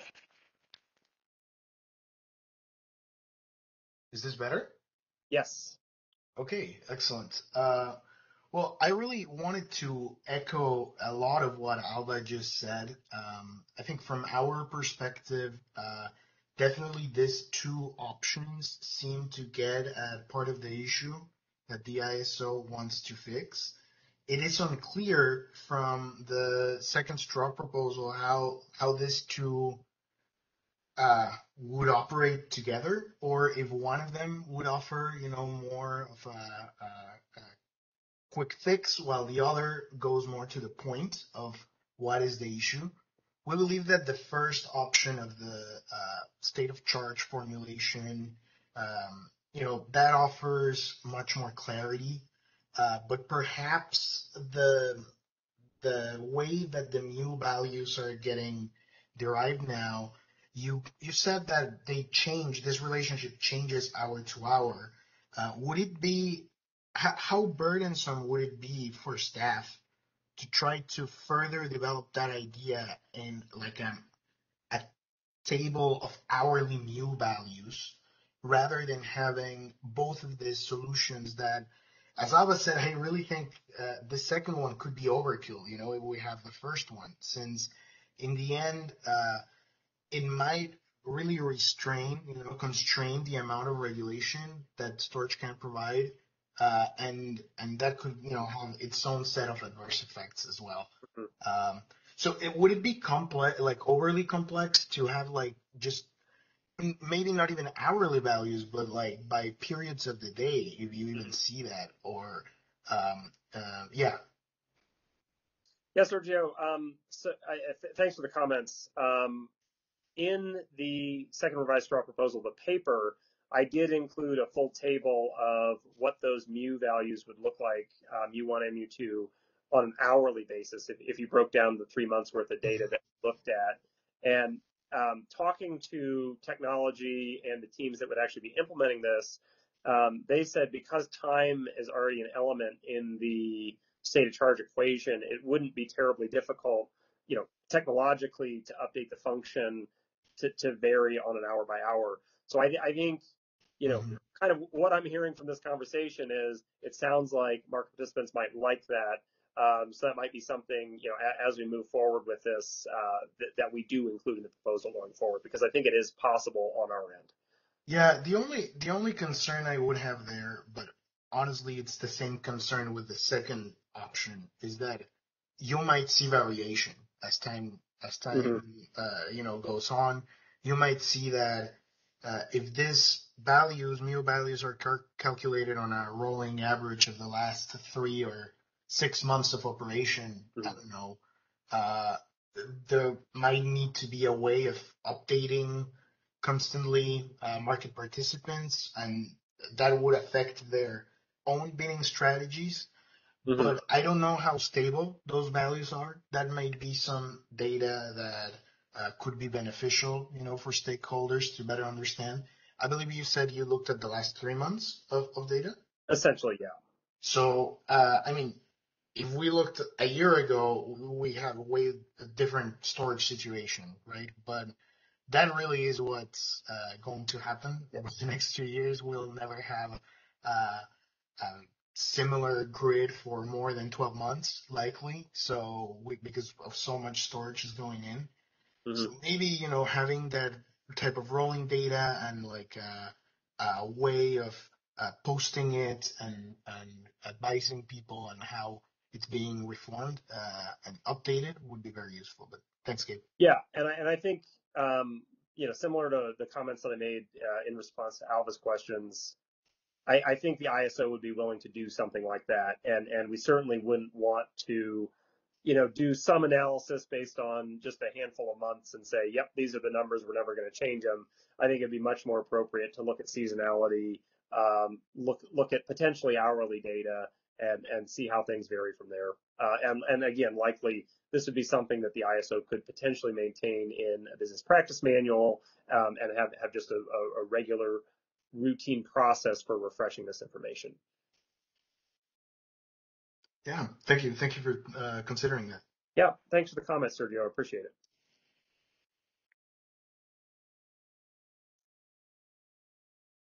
Uh, so Brenda, I think you've noted that we've got a couple questions in the chat. Uh, do, do, you want to just read those? I, am having difficulty seeing everything that's coming up in the chat. Yeah, that's fine. Michael Volk from PG&E.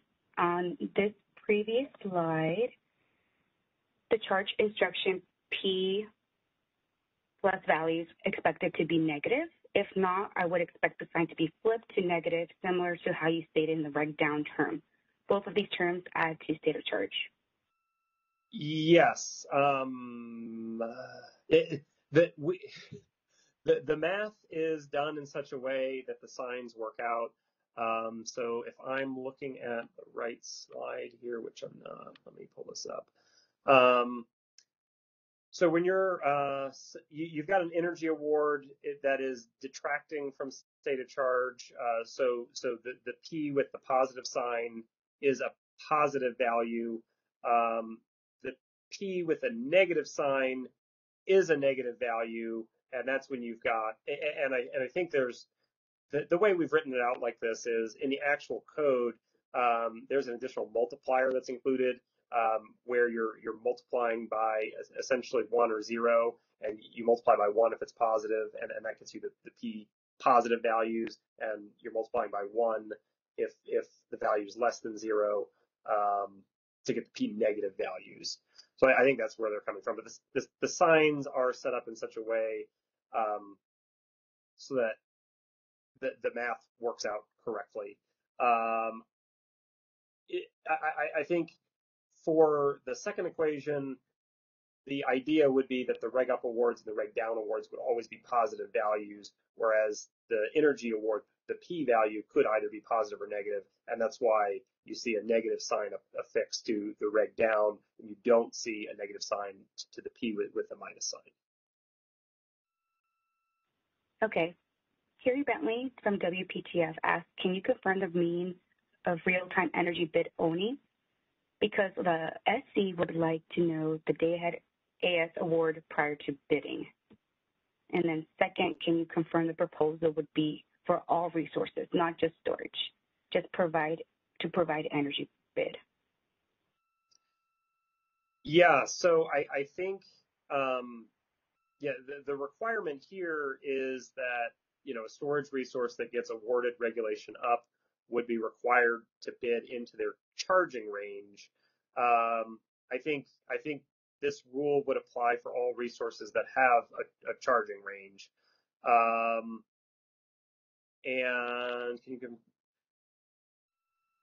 the the yeah, I, I agree with you that I, I think the rule would actually be applied in the day ahead market and the real time market because in the day ahead market, you, you know, you you bid in your energy awards, your, your energy um, curves, and you bid in your regulation, and the market could potentially pick you up for reg up. It could potentially pick you up for energy. It could particularly potentially pick you up for reg down.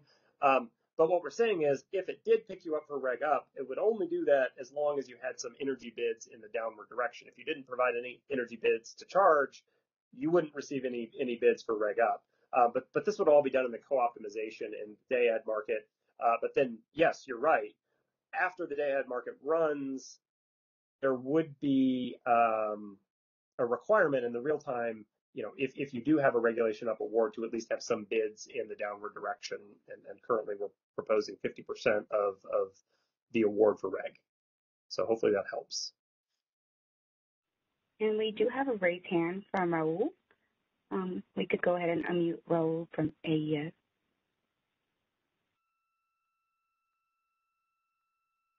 Okay, can you hear me? I can, yeah. Yes. Okay, so I think when I raised my hand, uh, I was going to ask you, and you answered that question that this change would be applied to both day ahead and real time. And I'm assuming 15 and 5 minute, 15 minute and day ahead and not the 5 minute, right? Or in 5 minute also. Yeah, I, I mean, you know, your your bids in the real time market are submitted um, prior to the start of the hour so whatever bids you made, it would be effective for both the RTPD and the RTD markets. You know, but here the state of charge equation change is for both day ahead and real time. Yeah, correct. So, and this would go into the optimization decision whether you get an award or not. Correct. Based on your energy offers across across the two intervals. Correct. Okay. And the other portion portion of SOC when it is reserved for flex uh, or the minimum SOC that is reserved for spinning reserve, that that piece would still stay the same for SOC, right? This is just showing the change. This is not showing that those const- those details would be those details would not be removed. That's that's exactly correct. Yep. Okay. Thank you. Yep. Thanks, thanks for the questions, Rahul. I appreciate it. Any other questions or comments? Um, yes, Martin Shaun and uh, would like to ask, the P plus is a discharging schedule in the market ops BPM, and the P minus is a charging, which is why it gets multiplied by ETA. So that's what he mentioned in his comment. Yeah. Yeah, that, that's right. That's exactly right. Th thanks for that clarification, Martin. Yeah, and then Mary Washer from Tesla said, how is the multiplier determined? Um, so I think we're talking about this slide. Um, the multiplier mu1 and mu2 I, I, don't think we've outlined a specific methodology for determining them. Um, but basically, what I did to come up with this 0.08 and 0.19 values uh, was to look at, you know, basically what we did is pull three months worth of data for all the storage resources in the fleet. And anytime those resources received a regulation up award or a regulation down award, we actually went into the data and, and stripped out any changes to state of charge that would be related to energy awards and looked at what the change of state of charge was, you know, over a particular hour for that resource. Um, then with all the data for uh, reg up awards, reg down awards, and changes in state of charge, I just did, you know, a, a sim simple regression and um, used as my explanatory value uh, variables um, regulation up and regulation down to explain the, the changes in state of charge for any particular hour. And um, the multipliers associated with those explanatory values were the, the 0.8 and the 0.19. Um, I think this is a, you know, probably a good first uh, step in estimating what, what these values should be. Um, it might not be uh, the, the final way we actually choose to implement this. And like I said, I think what's really important in this proposal is that actual formulation would include two multipliers. I think the values of the multipliers would be something that would be maintained and specified specifically in the business practice manuals and you know again likely um, if if there were a, a, more reasonable approach on how we should be updating those values um, and as time goes by and the values actually change uh, because uh, grid conditions change or as seasons change or something like that, um, I, I, think you know the the ISO would uh, similar to other values that we maintain in, in business practice manuals, we we go through a process to update and refresh uh, that information. But really good question. We have Carrie Bentley lastly on the raised hand, so let's go ahead and unmute. Hi, Gabe. Carrie Bentley with Western Power Trading Forum. Sorry, my question I think got a, little bit lost in translation, so I was going to try again. Um, no, no. So when you're talking about, um, you know, the rule in the paper and the presentation says that you're proposing to have an AS award that accompanies energy bids, but in the day ahead, you don't know the award ahead of time. So I just want to make it really clear, your rule really is different. It's at least as I understood your answer, it's that in order to be awarded regulation, you have to provide an energy bid for your full regulation bid, or you won't even be considered for it. Yeah, for 50% of the regulation bid, yeah. Yeah, but it has to be, but it's not for the award, it's for the full offer. Otherwise, that offer, I guess you're saying, won't even be considered in, as a valid offer in the market? So if I, you know, if, if I bid in you know, I'm a I'm a plus or minus 100 megawatt resource, and I only bid in 10 megawatts of charging capability for for uh, for energy bids, and I didn't bid anything in below minus 10. You know, I, for whatever reason, I don't know why, um, for a specific hour in the day ahead market. During that particular hour, the resource couldn't receive more than a 20 megawatt award for reg up. Um, another hour where you bid more, you know, 50 megawatts or more, you could get the full award. And it's everything's still co-optimized, um, and, and, it's all, you know, optimally determined by uh, the market.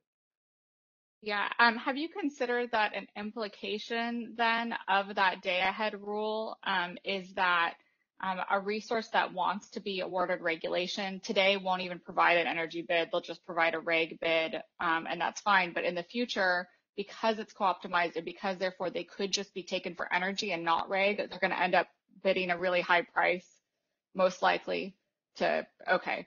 Yep. Yep. Okay.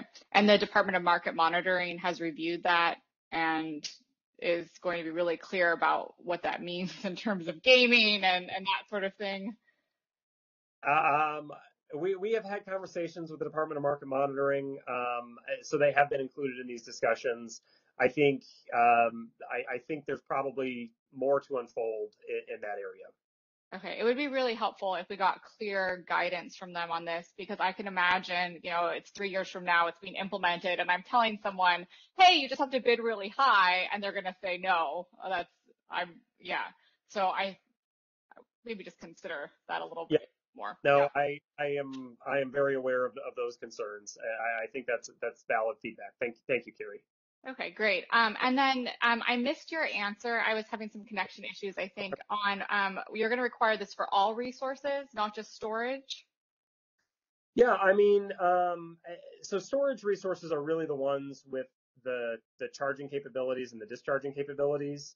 Um, so I, I, think, you know, I, I might be answering too quickly here, but I think this would apply for any resources that would would have positive ranges of bids and negative ranges of bids. Obviously, a gas resource only has has has positive bid ranges, um, so it wouldn't apply to them. Mm, I think in in my um, kind of understanding of no pay and AS world, there's actually lots of constraints that could prevent you from providing your AS um, and to say that the state of charge is mm-hmm. the only physical constraint that we're going to force some sort of uneconomic buyback on, mm-hmm. not all these other constraints that do lead to no pay, I think you really are opening yourself up to a discriminatory argument. Um, and frankly, one that uh, WPTF may make at FERC. It, I, we'd have to really look at whether this is now unfairly um, discriminating against storage. Um, and I, you know, I, I can't say what we would do at this point in time, sure. but I think it's something that you guys, before going to FERC, should really look into and be able to say, hey, the only other resources that really have these constraints um, don't normally bid into regulation or it's not an issue. Mm. Um, but I, I really get nervous um, when something is applied to a specific resource type. And I would hate for this whole initiative to be derailed by a discriminatory issue. Sure. Yep. Yep. Thanks, no, Gabe. I, appreciate those comments. Thank, thank you, Carrie. I appreciate that. We do have a few, two more people that just jumped online to raise your hand. Would you like to take? Let's go one? ahead them, and I, I just ask that um, let, I'll, I'll try to keep my responses brief, and I'd ask that comments are brief at this point as well too, so we can move on and get through the rest of the material. Okay, Eli Geilenbaum, you're next. Please state your company that you work for too. Yeah, thanks. Uh, Eli Gilfenbaum from Tesla. So I just had a question on the optimization formulation for this. When uh, regulation bids are being co-optimized, including this energy bid, does the optimization assume that the full 50% megawatt capacity associated with that energy required energy bid clears, and that's essentially part of the regulation bid, or is the optimization? I guess I'm looking for more clarity on how that co-optimization is defined and determining whether a regulation bid would clear based on the corresponding energy award that's yeah. associated with it. The, the requirement bid. would just be that the bid be there, um, and it would be irrelevant whether or not the bid cleared or not, or partially cleared. Okay. Thanks. Yeah, good question. Thanks. Lastly, we have Alva from PG&E. Let's go ahead and take your. Hi, uh, Alva from PG&E. This is just to join in on the first part of Carrie's comment, not on the second part. But I think, mm-hmm. given that spin currently does not require an energy bid um, to a company in, in day ahead, I don't mm-hmm. see any reason that you actually should have an energy bid requirement day ahead. You should simply have the ability to not award fully the regulation on the basis that you will have a, a must offer requirement in the other direction essentially if you're so if you're if you were uh, to uh, essentially award full reg up then you would have a must offer a must bid requirement in real time and the reason for that is because exactly the point that Carrie raised that energy should not be available for the energy market it is, sim- it is meant to support the regulation and so it should simply be uh, an unused portion of the of the, of the range of the resource. And I think that mm-hmm. also addresses the Tesla question because I don't think that energy should be part of the optimization except as a constraint. That's mm-hmm. just my comment on that. Yeah, um, yeah, I, think the point's well taken. Uh, we'll consider to think about that. I, think the concern is that it's it's not if you necessarily receive uh, an award for 100 megawatts of reg up in the day ahead market and, and nothing happens on the, on the charging side and you never got a, a bid to charge and, and there was no, never anything else. I think the concern is if you receive, if you're a plus or minus 100 megawatt resource and you receive 100 megawatts of reg up and 100 megawatts of reg down, then you're in a situation where that's why you don't that's why you don't award 100 megawatts of reg up and reg down. You award if it's if it's 75 or um, I, I can't do the math, but I think it's probably like 66 in both directions right. in that case.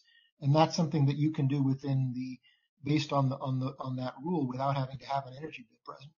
So the requirement would just be that you, you know in the day ahead market you could only receive um, you know awards that could be supported by an energy bid. By it, that could be supported, and then if you are awarded that regulation, the the bidding uh, requirement right. at the time is that you're there. Okay, that's right. Yeah, right down bid, bid, insertion potentially, if, if uh, which is what happens with spin. Okay. Let me. I, I, I think that makes a lot of sense. Um, let me let me take that back and think about it a little bit. But um, you know, on the face of it, I, I think that's pretty reasonable. Okay. Thank you. Um, any other questions or comments, Brenda? No, we're good. So let's get going here. Um, uh, so we're, we're at 11 o'clock, just or well, we're at 10 to 11 right now. Um, just to do a little time check. Um, we do have more of the presentation to go. Um, we have the other two reliability issues and the co-located issue. I am anticipate. Oh, I did anticipate that the ancillary service topic would sort of be the, the bulk of the discussion today. Um, I'm happy to continue to have the discussion. Um, uh, just to set expectations, though, uh, we, still do have a fair amount to run through in uh, just over an hour. So let's dive into it. Um, next slide, please. Thank you. Um, the ISO is proposing internal tools to ensure local reliability. Most of what we have in this section is unchanged from the previous proposal, although I did include just a very, very simple example on the next slide. You know, the, the ISO does already perform studies on how storage resources could potentially be used in local areas, um, and, and, these are planning studies um, to meet reliability needs in those areas. Um, and, and we know that there's a certain amount of uh, you know four-hour duration batteries that you could potentially have in a local area, and what those four-hour batteries could potentially allow you to retire or what else you may need to procure, um, you know, paired with a certain amount of uh, storage resources in order to continue to maintain uh, reliability in those local areas. Um, in those reports, we are specifying, I think, upper thresholds on total amount of four-hour storage capacity that could be located in, in a local area, um, given what requirements are, total requirements, and essentially what this outlines is the proportion of total amount of resources that could be four-hour duration storage. Um, we are looking at uh, requirements for charging energy. Um, so not only do you have enough energy to serve your load over those tight conditions in the local areas, but do you have the capability under those stressed conditions to bring in enough charge to be able to charge your batteries so that they can be used um, during the later periods when you need them for meeting uh, reliability concerns. So that is an aspect of the study that the ISO is doing. Um, the operations timeframe also ensures that the ISO um, could potentially uh, use gas resources.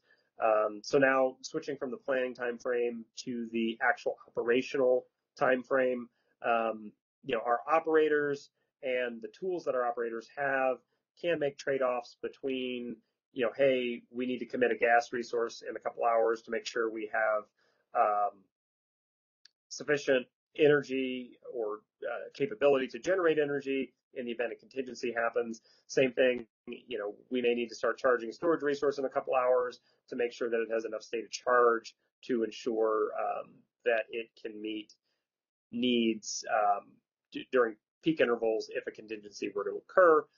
Um, and and and you know our operations team recognizes that um, storage resources are you know, just as capable of providing energy as long as they're charged as um, gas resources are. So the proposal here is that the ISO is going to enhance its internal tools so that the, the trade-offs between you know either procuring storage resources for these local contingencies or potentially um, starting gas resources and having them sit at min load on the re, on the uh, grid are available, and um, weighing those trade-offs and then uh, uh, efficiently making the decision per the market which which one should occur and, and pricing um, I, either of those contingencies into the market. So on the next slide, I've, just outlined, and again, this is a very, very simple illustration of how this might potentially work. So let's suppose you're looking at one potential local area. Um, let's suppose you're thinking about hours you know, 17, 18, 19, and you've got a local need. You know, this is very, very plain, very easy. Um, you know, 50 megawatts during each of those hours. So you need 50 megawatts an hour ending 17, 50 megawatts an hour ending 18, 50 megawatts an hour ending 19. If this uh, potential contingency in a local area occurs. Um, the rest of the day, you suspect that even with the contingency in place, um, you'd still be able to get plenty of energy or enough sufficient energy to be able to operate uh, the local area. So you basically need um, th- th- that 50 megawatts over all three hours. So obviously, one potential solution would be you commit a gas resource um, that has at least 50 megawatts of capacity um, that gas resource is available uh, from hours ending 17 to 19. Obviously, uh, that will come with costs, the co- cost associated with actually starting the resource and the cost with, you know, if it's not scheduled for energy, potentially having it sit at min load um, during those that three hour stretch. Um, of course, potentially prices could be high, um, and if those high prices materialize, um, you know, you're, you're not paying, you know, there, there's no need to uplift the min load cost. Um, the, the trade-off could potentially be, well, you've got a 50 megawatt gas resource sitting there, or you potentially have a 50 megawatt four hour battery sitting in that local area. Um, of course, it, it, things are a little bit different now. Instead of uh, requiring the battery to start, there's no startup associated with the storage resources. You would instead need the battery to hold state of charge, and you need it to be at least at 150 megawatt hours by hour ending 17. Similar to the gas resource, prices could materialize in hour ending 17, 18, 19, um, such that the resource is discharged, at least discharged up to 50 megawatts if it's sitting at right at 150 going into hour ending 17. Um, but other, otherwise, you know, it might just sit through the, those hours and hold state of charge. And the idea would be um, that the tools, eh, you know, as we enhance them, would weigh these two different uh, considerations for this one particular local area and would pick uh, the most cost-effective one um, to provide these services and ensure that we have uh, reliability in this local area. So um, I'll pause here for any questions on the local proposal. We do have a question from Perry. Let's Great. go ahead and Hey, this is Perry Servedio, GDS Associates. Thanks for providing the example, Gabe. I had a couple um, clarifying questions and, and, concerns, but I think my most most of my concerns are just in the lack of documentation. It's kind of the, where my questions are coming from too. Um, in this example, if you needed the storage resource in this local area, you have the MOC constraint there. Um, would the constraint result in needing to charge the resource prior to hour 17?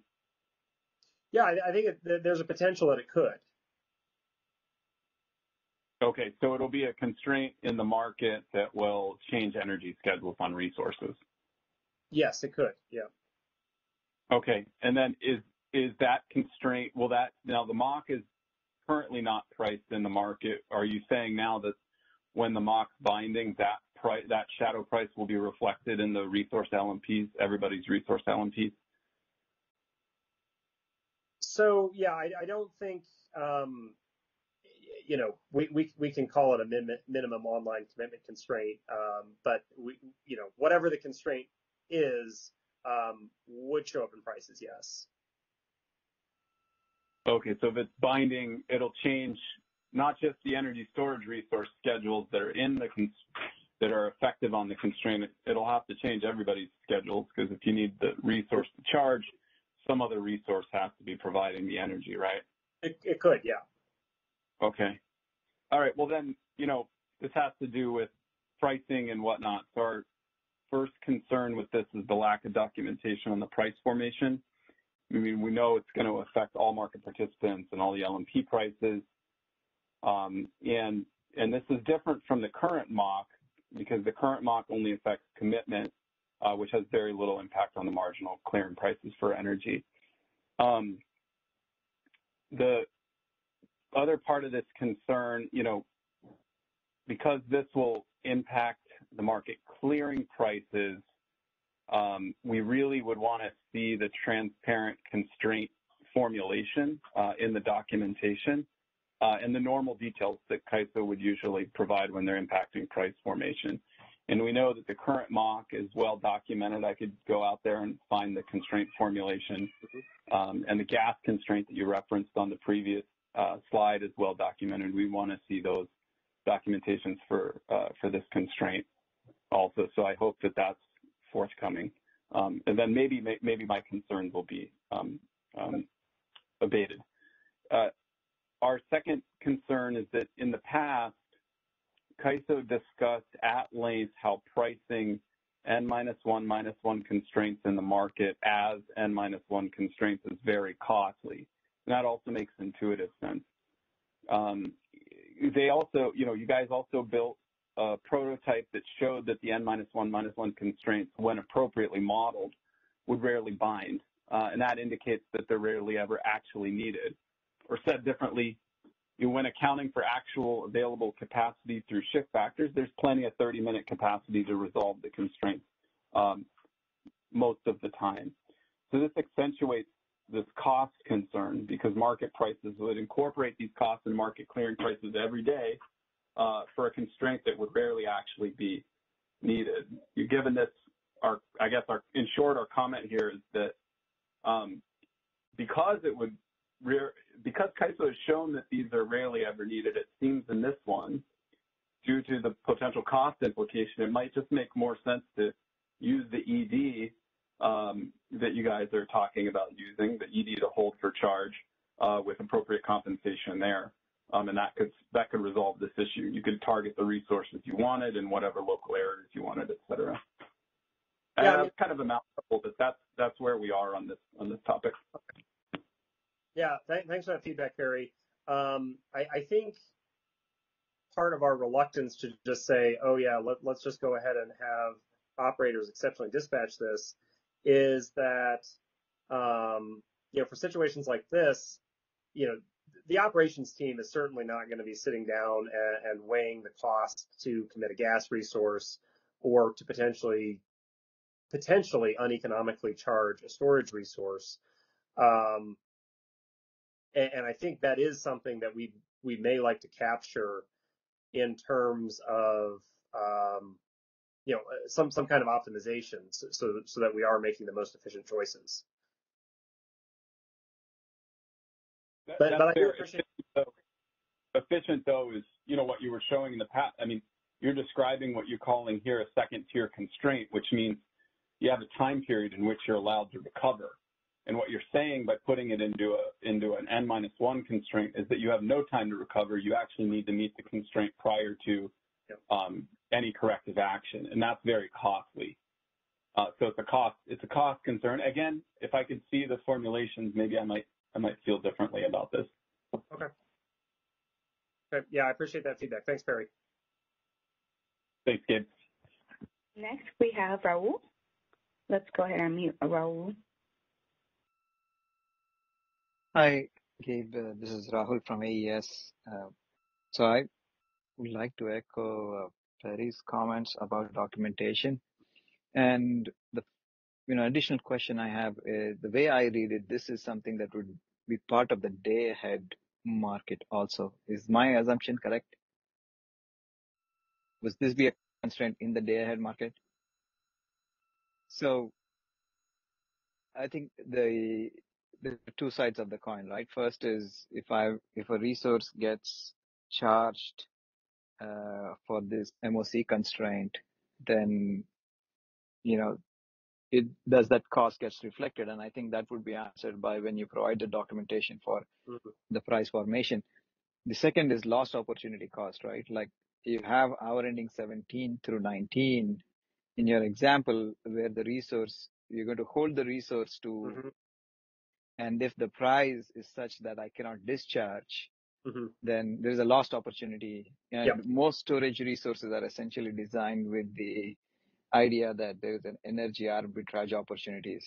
So Mhm. essentially you're looking to charge in low, low hours and then, you know, discharge in the high price hours. So if these are the hours, if I just take this example, that essentially takes that value off the table. Is that something you've already considered? And I don't know if it's there in the next section of how does the storage get compensated for lost opportunity? Yeah, I, I think that's a really good question, and we have had some uh, discussions internally about that. Um, I think, you know, to, to Perry's previous point, um, you know, in in local areas where you are depending on storage resources during these, um, you know, potential times, they don't happen that often. Um, and when you are um, relying on storage resources, oftentimes in the development process, um, the storage resource may have been specifically procured because of these local conditions. And I think in those, and obviously there's other scenarios out there, but I think in those kinds of scenarios where um, storage resources are specifically procured um, to provide these kinds of services in local areas, um, which I, I believe are the cases for you know at, at least some of the resource storage resources that are located in, in local areas where these conditions actually bind today. Um, I, I think we are comfortable with those costs being recovered through some kind of fixed payment uh, that would be agreed on when the resource is initially uh, being contracted for uh, by the entity that's, that's procuring the capacity. And I think at the time and again, these are the resources that I know of that are located in local areas where these constraints could potentially bind. Um, you know, those resources are very aware of those conditions as they're signing contracts. And because of that awareness, I'm sure that, you know, exactly like you're saying, the modeling of uh, expected energy arbitrage has been augmented to reflect periods when they would be needed for local reliability because of you know, potentially holding state of charge.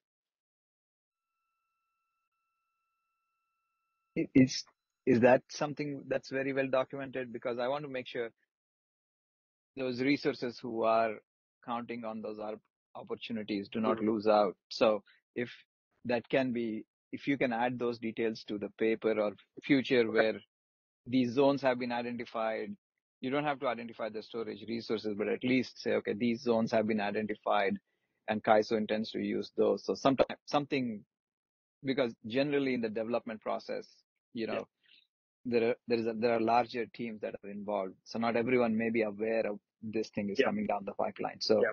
if you can provide that information, that would be good.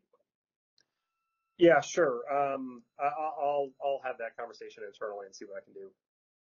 But but thank you for the feedback, Rahul. I appreciate it. Yeah, in general, it doesn't, you know, even if we have this information, this just does not sound the best way to compensate. And I want to hold that right to come back because I want to socialize this discussion with our team. Yeah. Uh, so yeah, I would say that, you know, this is something that we would definitely comment on. Okay. Yeah, great. I appreciate it. Lastly, we got Marie Washer from Tesla. Let's go ahead and unmute you. Thank you very much. Uh, Marie Washer with Tesla. Um, so this example, and, and this, this is inherent to the SOC formula, but um, it this still assumes that your resource will be able to dispatch 50 megawatts all the way until the last megawatt hour of its state of charge, um, which is a problem that's been highlighted several times before. I just wanted to emphasize this here. Yep. Yep. Uh, that that's absolutely the case. Yep, th thanks for bringing that up. Thank you. Yep. Okay, um, why don't we go ahead on to the next section? Um, again, I, you know, I, I think we've we've sort of front loaded some of the more controversial issues. Um, so I, I, think you know we are we are gaining a little bit of speed here, which is good. Um, exceptional dispatch, similar to the previous topic, did not change very much um, from our uh, previous proposal. I think, you know, like I mentioned, we, we made uh, a, a, couple of tweaks to the formulation for how the counterfactuals would work. Um, I did not go through and include slides on the examples um, that were included in the paper and they were included in our presentation and, and the, the, first revised straw proposal um, from last time. So um, I, I, think this conversation may also be uh, a little briefer as well. Um, so uh, this shouldn't be a surprise at this point, uh, but the ISO is planning and proposing to expand exceptional dispatch authority for storage resources. Essentially, the authority would be to uh, uh effectively tell a storage resource um, to move uh, to hold at least a certain amount of uh, state of charge, um, and it wouldn't be an energy uh, directive. It would instead be a directive to say, hey, look, we need you to have at least, I don't know, 100 megawatt hours of state of charge from this time to this time instead of a, a typical dispatch, uh, exceptional dispatch instruction, which might be, hey, we need your resource, any resource, to provide a specific amount of, of energy to the grid over some prolonged period of time. Um, yeah, the traditional exceptional dispatch is a megawatt target, not a megawatt hour target. And uh, the, compens- the way the compensation works is the higher of you know the prevailing locational marginal price or the bid that that resource is being required to perform at. Um, our operations team may desire to have, uh, you know, ex exceptionally dispatch a storage resource to hold them at a particular state of charge on our very highest, very tightest days. This could be a concern. Uh, we know that we need a certain amount of energy uh, later on the day. The operations team actually has tools that that can do the calculations for, you know, how, how many number of megawatt hours do I need an hour ending 18, 19, 20?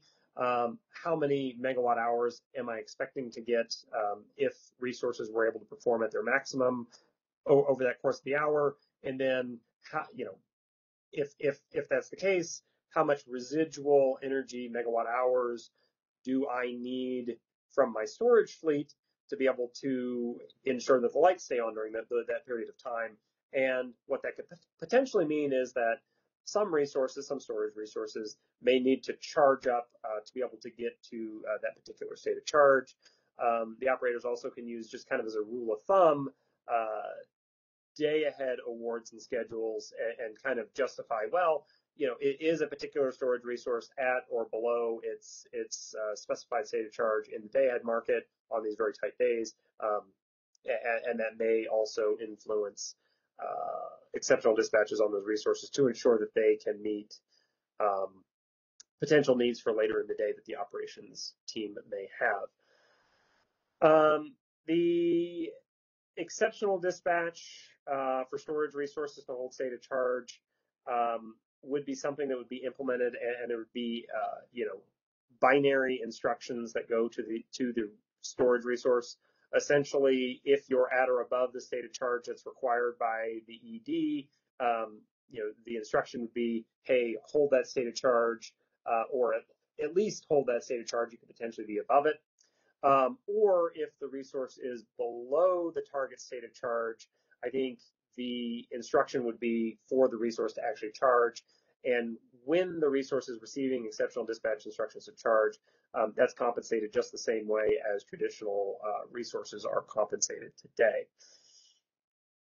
Um, and, and, the point here is that, you know, if you're in that first bucket where you have the state of charge that's required by the ED, um, instead of, uh, you know, it, instead of being compensated at bid or better, um, you could also be compensated for uh, lost opportunities because you know if if you're um, not discharging and, and, you're right at that threshold, you know, the ISO could effectively be preventing you from, from participating in the real-time market when you would have liked to.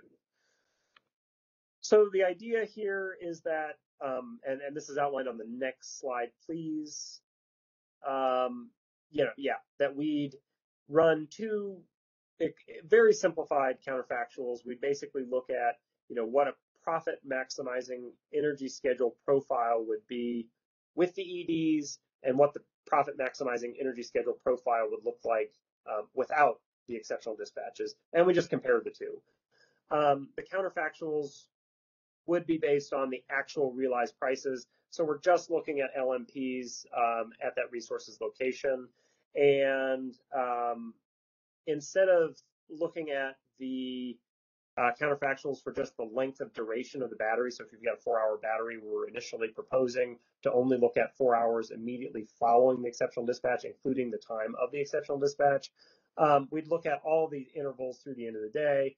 Um, as I mentioned earlier, this helps us in terms of settlements because we're only looking at uh, one day worth of data um, and, and, not like sort of spilling over into the second day. Um, but th- but we also feel like that this kind of makes sense because you may be wanting to discharge towards the end of the day. If there's better opportunities to discharge during the end of the day, um, and you were holding state of charge earlier, uh, maybe that wouldn't have gotten captured in uh, the original counterfactuals that we proposed last time. Um, and again, I think these two changes that we made uh, were in response to stakeholder feedback that we received, and um, I, I, I think that both of these changes improve uh, the calculations uh, that we're making um, uh, in, in, terms of how these resources would be compensated for this exceptional dispatch. So I can pause here, Brenda, uh, to see if there's anybody on the phone or any uh, comments through the chat.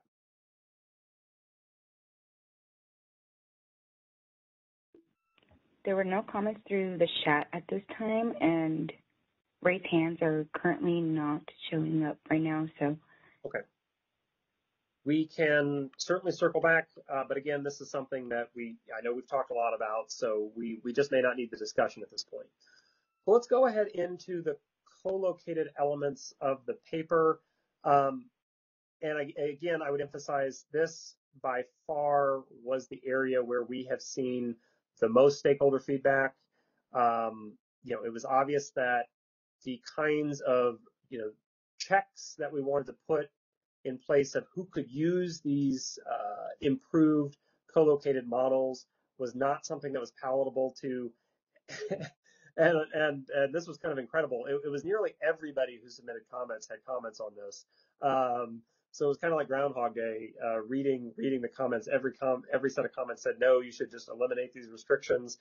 Um, so I, have had some long, you know, fairly uh, uh, challenging, in-depth conversations with our, you know, operations team, both at, at, the ground level, people who are working on the floor day to day, and with operations management about their comfort level for this. And I do think, you know, a- after, you know, having these conversations, I do think the comfort level has improved.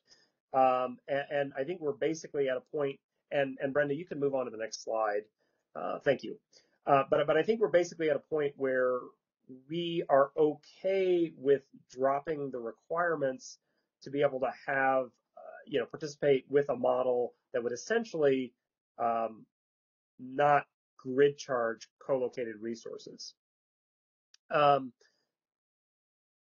I, I, do think, and I think this is true of, of, all policy the ISO develops, but I think this is a this is a caveat here on this particular policy. Know, the ISO may choose to re revisit this in the future if if we do move forward and, and implement something like this. Um, if we see that every single storage resource on the grid um, has these kinds of limitations, which I, I, think at this point is not what we expect, but it could potentially happen as as we're opening the door for it. Um, and we see that you know there are times when you know, we, gee, we really do need to charge these storage resources when solar's not available potentially.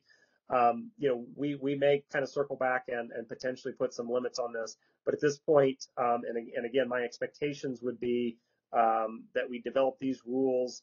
And I think uh, things, you know, e even even the way that they're outlined right now, I, I think things will be fine, and and some resources will opt into this, uh, and these would be the resources that need these sort of allowances, and other resources won't opt into this.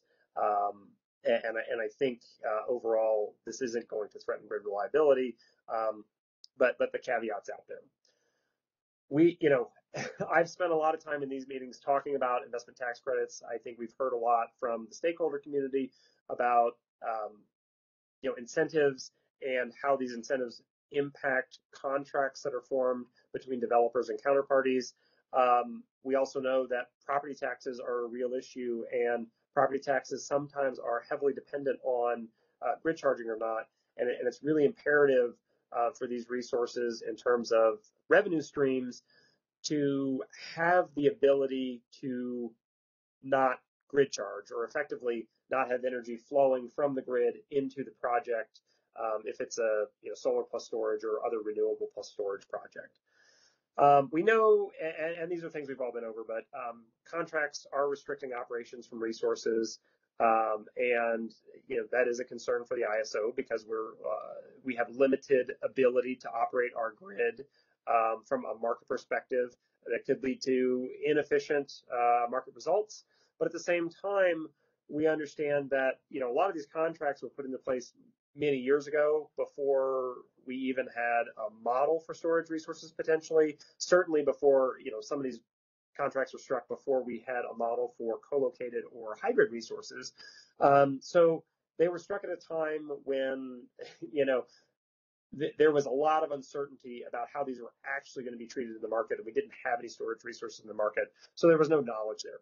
So we we do appreciate that, and we appreciate um, that at the same time, the ISO, the CPUC, the state were making loud calls for more capacity to join the system, and and we appreciate and applaud the efforts that our participants have have gone through um, in, in some really challenging times, frankly, um, to get these resources integrated and implemented and up and running in what's largely a very positive manner um, on our grid.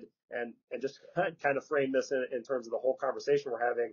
Um, you know, I, see these as relatively small improvements uh, to, make operations a little bit easier for the ISO, and hopefully um, this change which is going to make uh, uh, development and implementation easier for uh, new storage resources coming on the grid and storage resources that are already on the grid. Um, but at the same time, we've got a, really great fleet of storage resources that are actually helping and making meaningful impacts on reliability. So I, I, think I think there's a lot of uh, positive th- that that's happening um, in the last few years. Um, th- these are just some incremental improvements we can make to our models. Um, yeah, so uh, those are the ISO's concerns. Um, I, I, think they've been well documented. I think we've had the, the conversations, um,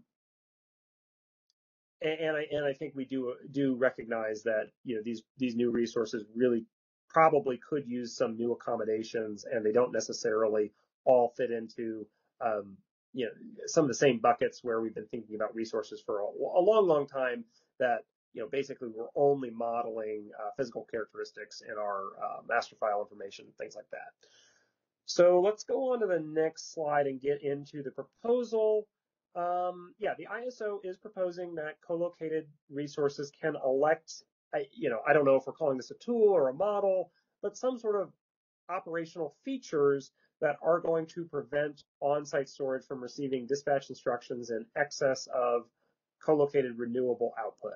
Um, so basically, if you've got a you got a, uh, a, solar and a storage resource, and the solar resource has a schedule of 10 megawatts, we're not. If you elect to use this functionality, we're not going to schedule the storage resource that's on site to charge at more than 10 megawatts. That'll just be a rule that's observed by our market, and uh, all of our market outcomes will always observe this.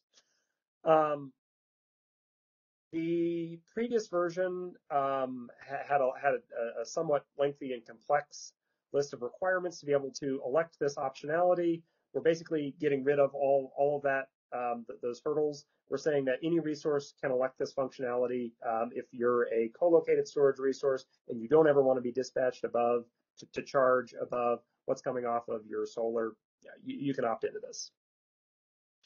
Um, there's no time limits. We were thinking about grandfathering and saying there could be a five-year period or a period that matched investment tax credit length, something like that. We're, we're doing away with all that. We're saying that any resource can opt into this for as long as they want to. If your particular resource has a contract for ITC that expires after five years and you don't need this functionality after five years, that's fine. Uh, you can opt out of this after five years. If you want to keep on uh, this, this same plan even after the five years, maybe this is relevant for some of the resources that have uh, property tax implications. That's fine too. Um, the, the key here, and this is sort of where our operations team was emphatic, is that all resources on the grid must follow exceptional dispatch instructions.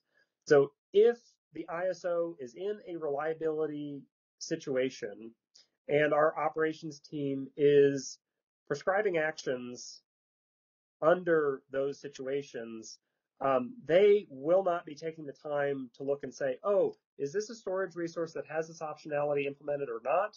Um, they're not going to be doing that. They're going to be seeing resources that potentially have functionality. And if they, if the resources are the right resources and they can help with, uh, you know, emergency situations on the grid or potential uh, reliability situations on the grid, when operators would be using exceptional dispatch, the operators do retain the rights to exceptionally dispatch these resources um, and operate them anywhere within their operating parameters that they've submitted to the ISO. So if it's something you've got registered in master file and the resource is not on outage, um, you know, the operators could potentially exceptionally dispatch any storage resource on the grid in a way that could potentially force uh, grid charging. Now, I would I would caveat that and say, you know, there's not a um, I would caveat that in a way and say that there's not a whole lot of situations where the ISO operators today need to exceptionally dispatch resources to uh, to, to, charge from the grid. Um, typically, it's the opposite direction. It's, discharge energy. Um, so I don't see this as something that happens necessarily uh, particularly often. Um, but but I think these are part of the rules of the road. That if you want to use the co-located model and if you want to be modeled as a storage resource, the ISO has to have the ability to um, exceptionally dispatch you within that range, eh, you know, under typical exceptional dispatch rules um, that would apply. Uh, so let me, I think I've got maybe one, maybe one, maybe two slides left. Um, so let's go through these and then I'll pause for questions or comments. Um, yeah, so essentially we're saying, yes, the ISO is going to allow these resources to observe contractual limitations. Um, we're basically saying our, our market is going to prevent any, you know, what, what uh, is being referred to as grid charging from ever occurring. Um, and we're going to put that in as a limiter that the market observes or, or uh, inequality that the market observes. Um, we're also going a step farther than that. We're saying that if a storage resource needs to deviate down because a on-site renewable resource can't produce as much energy as they thought they could, you know, as forecast and as scheduled um, by the market, then those resources, those storage resources, have the ability to charge less and essentially match the output that's coming off of the solar resource. Um, this is similar to functionality that we implemented in the uh, hybrid resources initiative where um, co-located storage is allowed to deviate from dispatch instructions under certain cir circumstances when uh, solar would cause uh, generation in excess of the aggregate capability constraint in the upper direction. Um, well, you know, so so a practical example of this would be, you know, a uh, solar and and storage resource are co-located the ISO forecasts that the solar resource is going to have you know 20 megawatts during one particular five minute interval, uh, and, and, that's the output that it could provide. The ISO schedules the storage resource to charge for 20 megawatts during that same interval.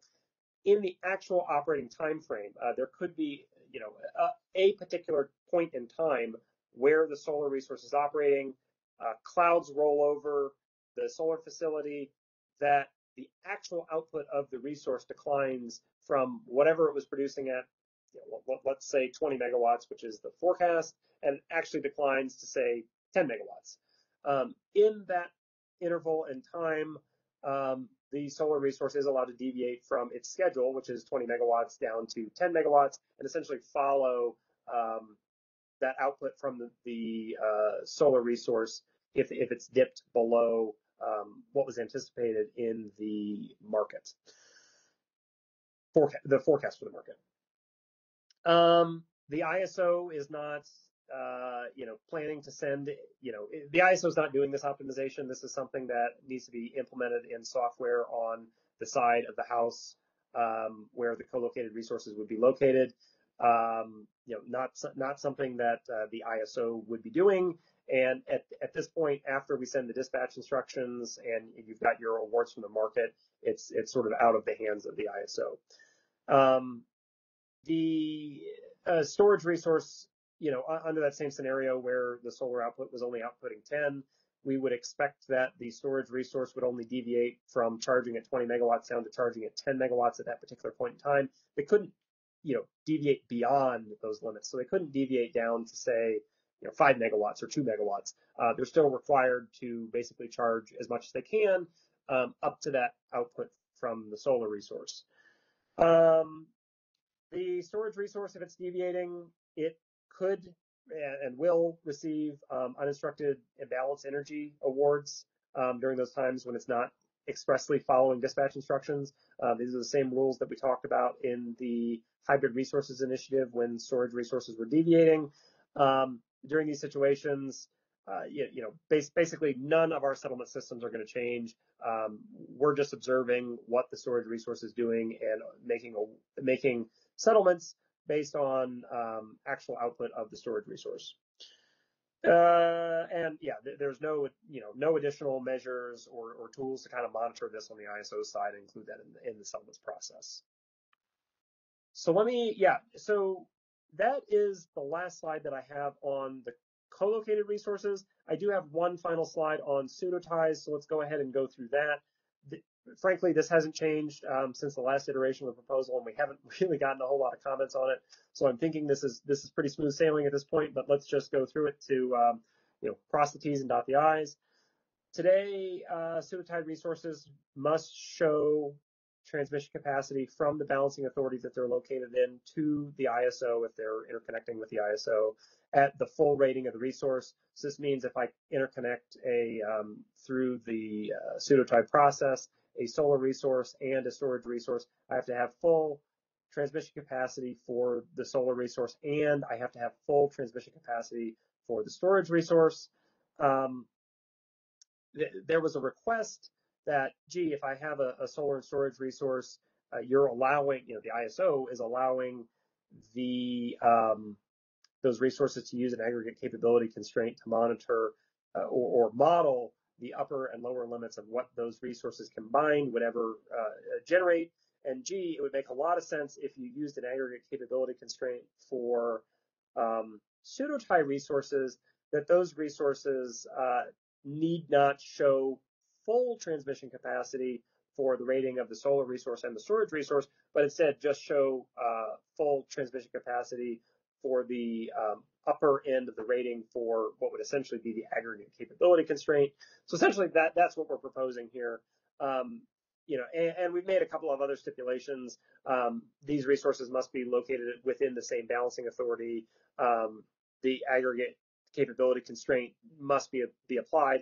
I think we've also added a little bit more in, in terms of the language in this in the paper, uh, but it's basically saying um, there may be some initial steps that have to be carried out between the uh, contracting party who's looking to interconnect pseudo-tie resources and the origination balancing area to ensure that this is okay with them. But I think from an ISO perspective, um, we would be comfortable with, with putting these rules in place. Okay, so let me pause there. Um, I know we got a lot of feedback on this section, but I but I'm hoping that the changes that we made, first of all, were clear, and that I, I really honestly believe that a lot of these changes we made were aligned with the feedback that we got from from the stakeholders, which we really do appreciate. Um, and, and hopefully this proposal is much more in line with hopefully what everybody is thinking about um, how the co-located model should work going forward. So Brenda, um, any comments or uh, raised hands? Yes. Susan Schneider from Phoenix Consulting. You can go first. Great. Hi, Gabe. Um, hey, I want to thank you for for listening to the comments that we put in. I know we had some uh, a lot to say about this, and I think you have addressed almost all of the issues we have. So I want to thank you for listening and for for talking, you making the operating folks a little more comfortable, and for and for really really paying attention to the stakeholder comments here. Um, I do have a few questions. One of them is to the extent that you can make this election flexible, I think it will make the people more comfortable with making storage available, full storage capability available to the CAISO. So for example, if you don't have to do it as a, as a master file election, but you can do it, say, as an hourly flag or an hourly election or something like that, like, like per participation used to be, um, then I think that will be, I think people will be more comfortable depending on where they are with, with the limitations that they have for ITC, for example. So I think, uh, you know, they might want to some hours make it available, some hours not. And I think you'll get more participation in the full market if you can make it a flexible election. So that's, that's just an observation. Um, a couple of questions. So it sounds like the, um, you're not going to, this, this is not going to be a, a change I guess if you look on, uh, there's no slide numbers here, but the slide, um, if you go back uh, a slide and then one more, I guess one suggestion would be it'd be good to have, um, I'm not sorry, one one slide later. It would be good to have uh, slide numbers. That would be one suggestion. I think, yeah, I think those might have disappeared because uh, the one the one that says the market model will prevent these storage resources. If you get that one, okay, thank you. Um, so it sounds like these almost sound like, well, first of all, it sounds like there's not, um, this, this is not going to be a scheduling issue. So it's not going to be where the schedule uh, for, for um, the output from the, from the, um, from the renewable resource would be a certain amount and you're going to make sure the storage doesn't get a schedule for charging. It's going to be a real-time dispatch thing, right? Is that, that's what it sounds like? Yeah. So yeah, we've got we've got we've got both aspects. Um, yeah, I, I think you're right. The the first aspect is we're going to make sure that the schedules for the storage resources never exceed the output from the on-site renewables. The second aspect is kind of what we go down here. Yeah, I, this... think I think that's covered in the next slide. Um, but it's essentially saying yes, if if for some reason the solar resource or, or whatever renewable you've got can't produce at the forecast for whatever reason, um, then the storage resource is allowed to deviate to to prevent grid charging. Okay, well that's but that's a but that's a deviation is a real time thing. A schedule is a, is an advancing. If you could just go back to the prior, I, this is not the right slide. It was the other one. That thank you. Um, it's it's it's different to say that the schedules will for for dispatch will not or the the schedule for um, for the renewables um, and the schedule for the charging will be coordinated. It's a different thing to say that you can deviate from those schedules to the extent there are deviations from real time. And they're not incompatible, but I don't see, see anything here about scheduling. This whole slide talks about deviations and dispatch instructions, not schedules like forward schedules. So, so when, I, when I'm saying dispatch instructions, I'm thinking about schedules. Uh, okay. All right. So that okay. So that was my my next question, which is the two bullets here seemed incompatible. So you're I, not, but not but what you just said.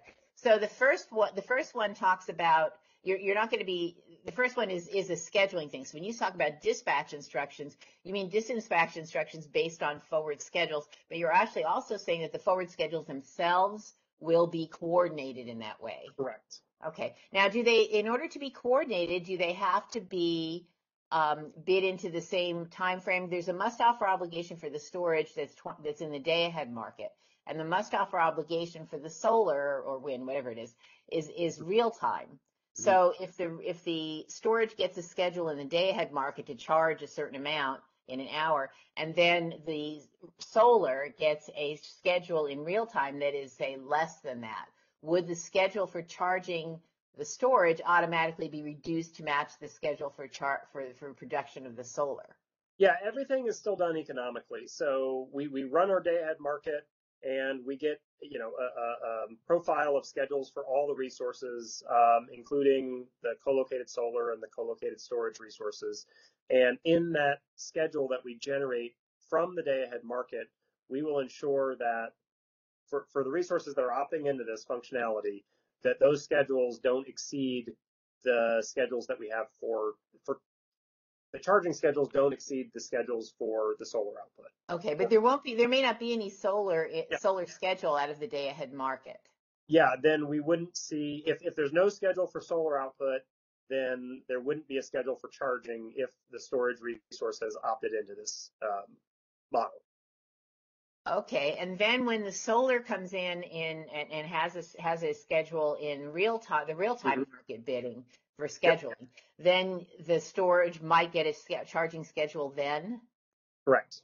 Okay. It, as okay. long as schedule for the solar.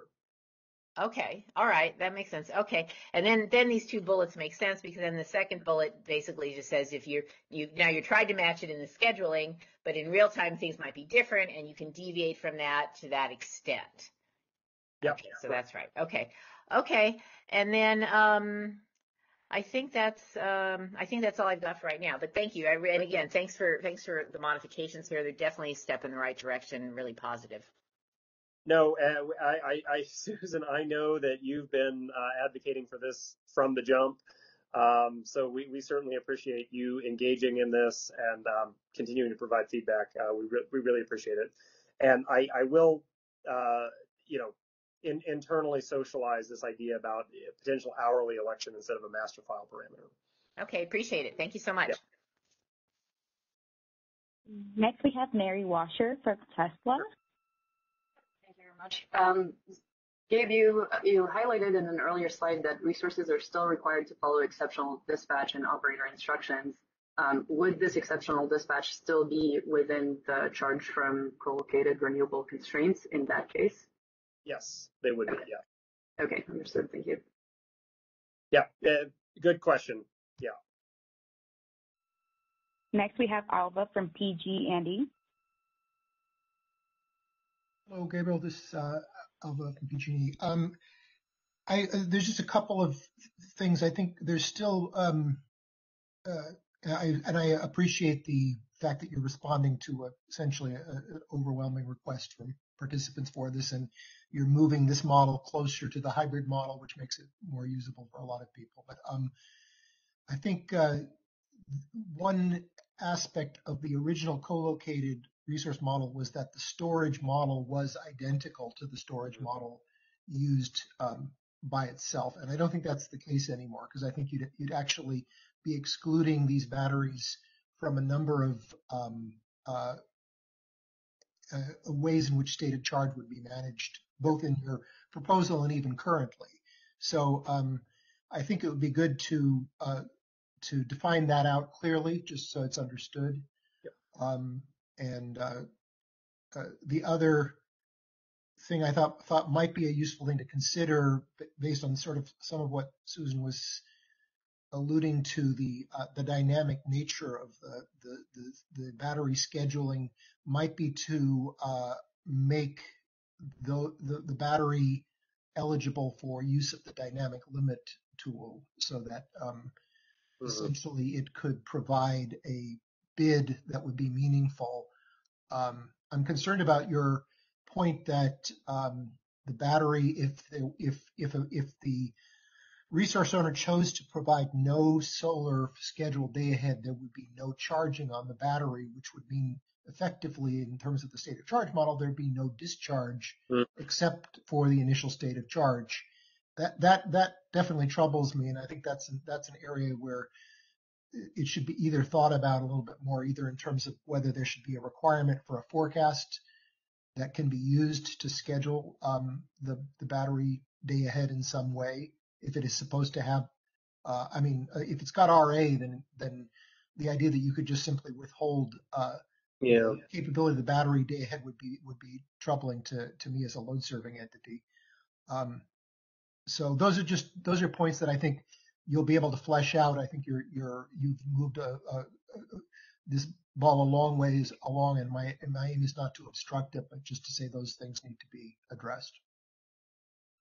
Yeah, um, thanks for those comments, Alva. A, a, lot of really good stuff there. Um, eh, you know, I, I, I I I don't dislike the idea about you know, thinking about how uh, co-located resource could potentially use like something like the dynamic limit tool. Uh, my hesitation there is that, you know, I, I, think we're all, well, most of us should be aware that the dynamic limit tool has been a relatively heavy implementation burden and our, our developers are still working on it. So this is, this is an aspect that we proposed, what, I, I think a year and a half ago, and it's still not in the market yet. Um, Assuming so it gets there, though, then then then you should yeah. leverage it for other uses. If it if it's not there, I'm not not gonna I, I wouldn't ask yeah. for it. But, but so I'm a little bit hesitant to make promises about developing right. more policy on top of it before we've even implemented the first policy. But I do, I, I, I think you're right. I think there actually may be even more applications, even outside of storage, where we could start leveraging um, some right. of the functionality of the dynamic limit yeah. tool if it's implemented in the proper way. Um, I agree. So I know some of our internal folks are thinking about that, and I'll continue to advocate for that sort of uh, expansion of use outside of uh, the traditional just for hybrid resources. Um, so, so, but I'll, but I'll keep that in mind. Um, and, and, I and I like what you're, you know, I, I, like what you and Susan were both saying about some of the solar hours. Maybe we need to put a little bit more thought into the day ahead schedules here, because um, you're right, we could come up with some really weird outcomes that that may not be good for anybody. Um, so so we'll, we'll we'll continue to think about that as we move into uh, you know some some of the final drafting here. Thank you. But thanks for the comments, Alva. Next we have Doug from Flynn Consultants. Hi, Doug Boccignone from Flynn Resource Consultants. Um, Gabe, I also want to echo the, comments thanking you for listening and, and incorporating these changes. I think it's a big improvement. Um, regarding the, you know, the scheduling in the day ahead, I wonder if if you could.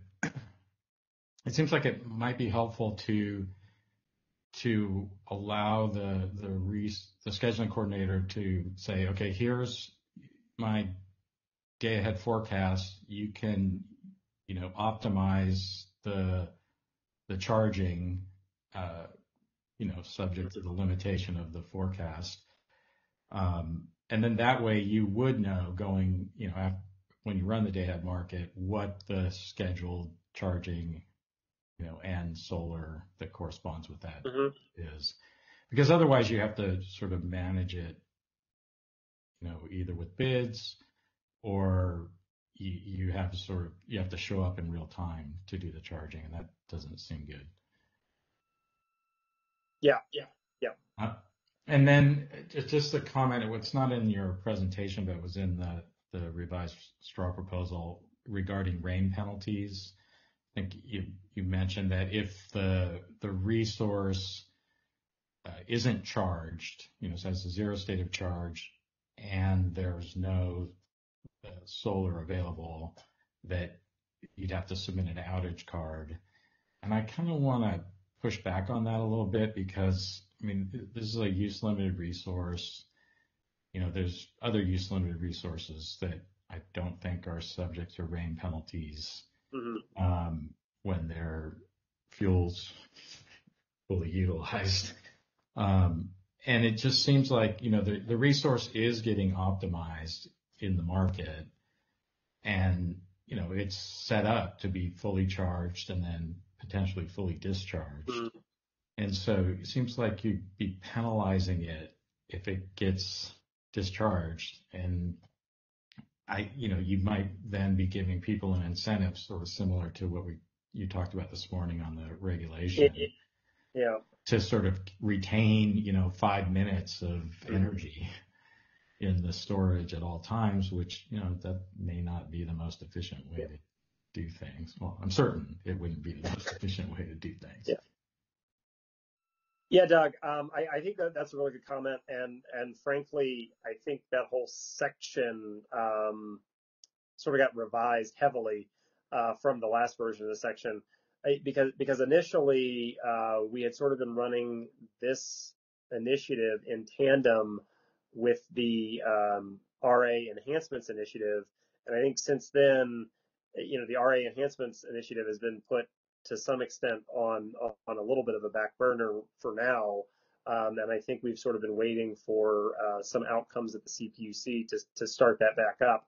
Um, but but I, I, I, think the language that you're referring to was sort of some commentary on on where we are right now with storage policy and where we think we might go in the future with um, the RA enhancements work that we were planning at the time, um, which now, you know, I, am presuming we're going to pick that back up at some point, uh, but we had been making progress on that in the past, but it, it really hasn't gone very far in the last couple of months. Um, but anyway, yeah, uh, I'll, I'll, continue to look at that and, and think about what's there in the paper. And I suspect the the right conversation for this topic is in RA enhancements when it gets you know going again. Um, and I think to I probably Carrie's earlier point, uh, probably another uh, good call out for hey, what are all the relationships between all of the uh, you know initiatives and enhancements that, that involve storage right now? Because there's a lot going on, um, but I think this is just one more kind of element of um, what, what's happening there. Yeah, I, I, think you may be right. Although the way the statement is still in there, basically says, you know, if if it's not charged and yeah, and you don't have solar available, you've got to take an outage, and there and be subject to RAAIM. Let me and, yeah, take a look. That seems like yeah. it could be really unfair because you know in a few hours it's going to get fully charged and and be providing the resource adequacy during the hours when you be capable of providing it in the hours when you you know planned on needing it. So okay. yeah, yeah, yeah. Thanks for that feedback. Uh, we'll take a look at that. Great. Thank you. Uh, Brenda, I think you've noted to me that there are two hands uh, raised in the queue right now, um, and I see we're at 11:51. So I'll maybe say let's limit uh, both call, both uh, questions to three minutes, and then um, I do want to give you a couple minutes to wrap up. Thank so you. First question.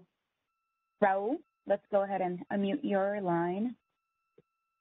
Hey, Gabe, this is Rahul from AES. Uh, so you know, I want to echo others' comments that really a good step in the right direction for managing ITC. Uh, my question is very similar to, you know, what uh, Susan had asked. I think it would make sense if you could provide the formulation or more details of how this would be implemented, and that would give a really good idea for everyone to think through uh, how you know it will impact uh, bidding or schedule. So one of the things that comes to mind is if someone has a regulation award and the AGC signals, would they also respect the restriction or it's only the market schedules? So, you know, that's something if you provide clarification in the implementation should answer those kind of questions. Uh, that was one request. And the second request was you know, I think similar to regarding the outage description, it was, it's there in the paper, but not in the presentation. So I just want to make sure the intent is what's in the paper, not necessarily what's in the presentation, right?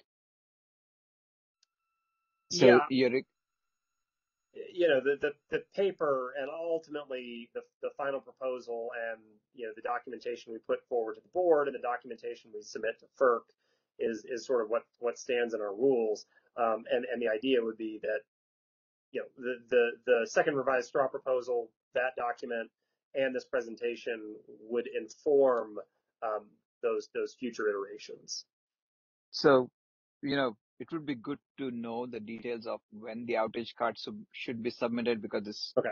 it can get a little complicated of you know what exactly is expected. It's pretty high level and that's good for this conversation, okay. but moving forward. So those are the two things. And okay, great. Thank you for my time.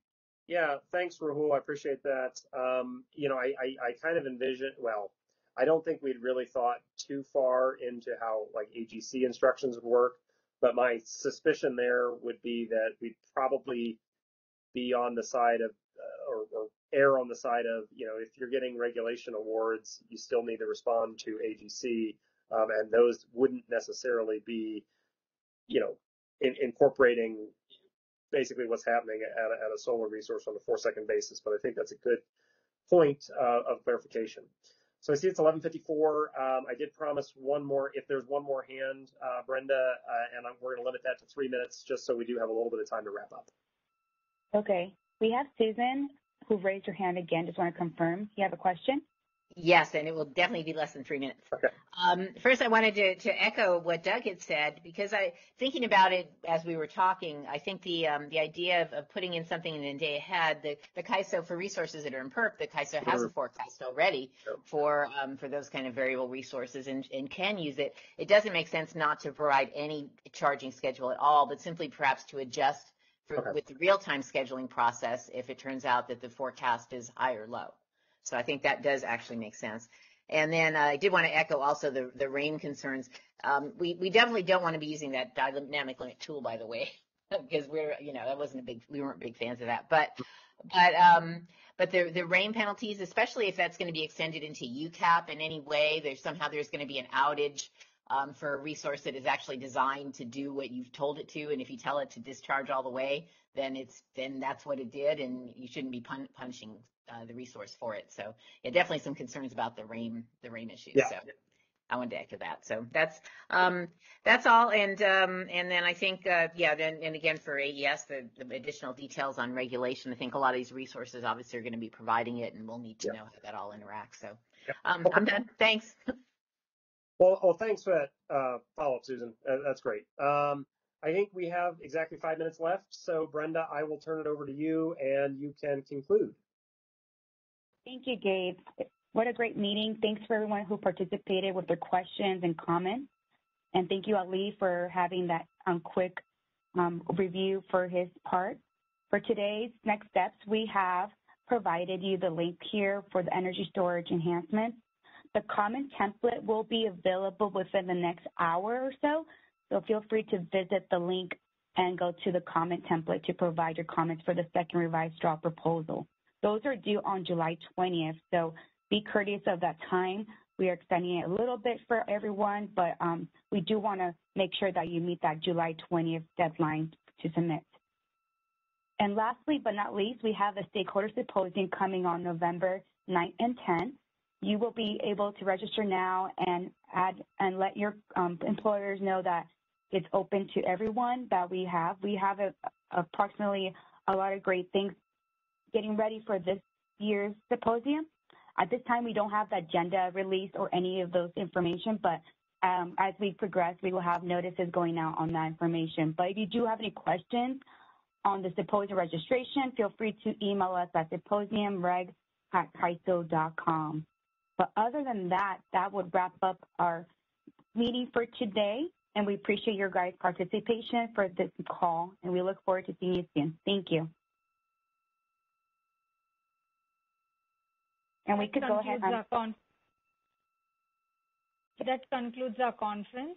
Thank you for using event services. You may now disconnect.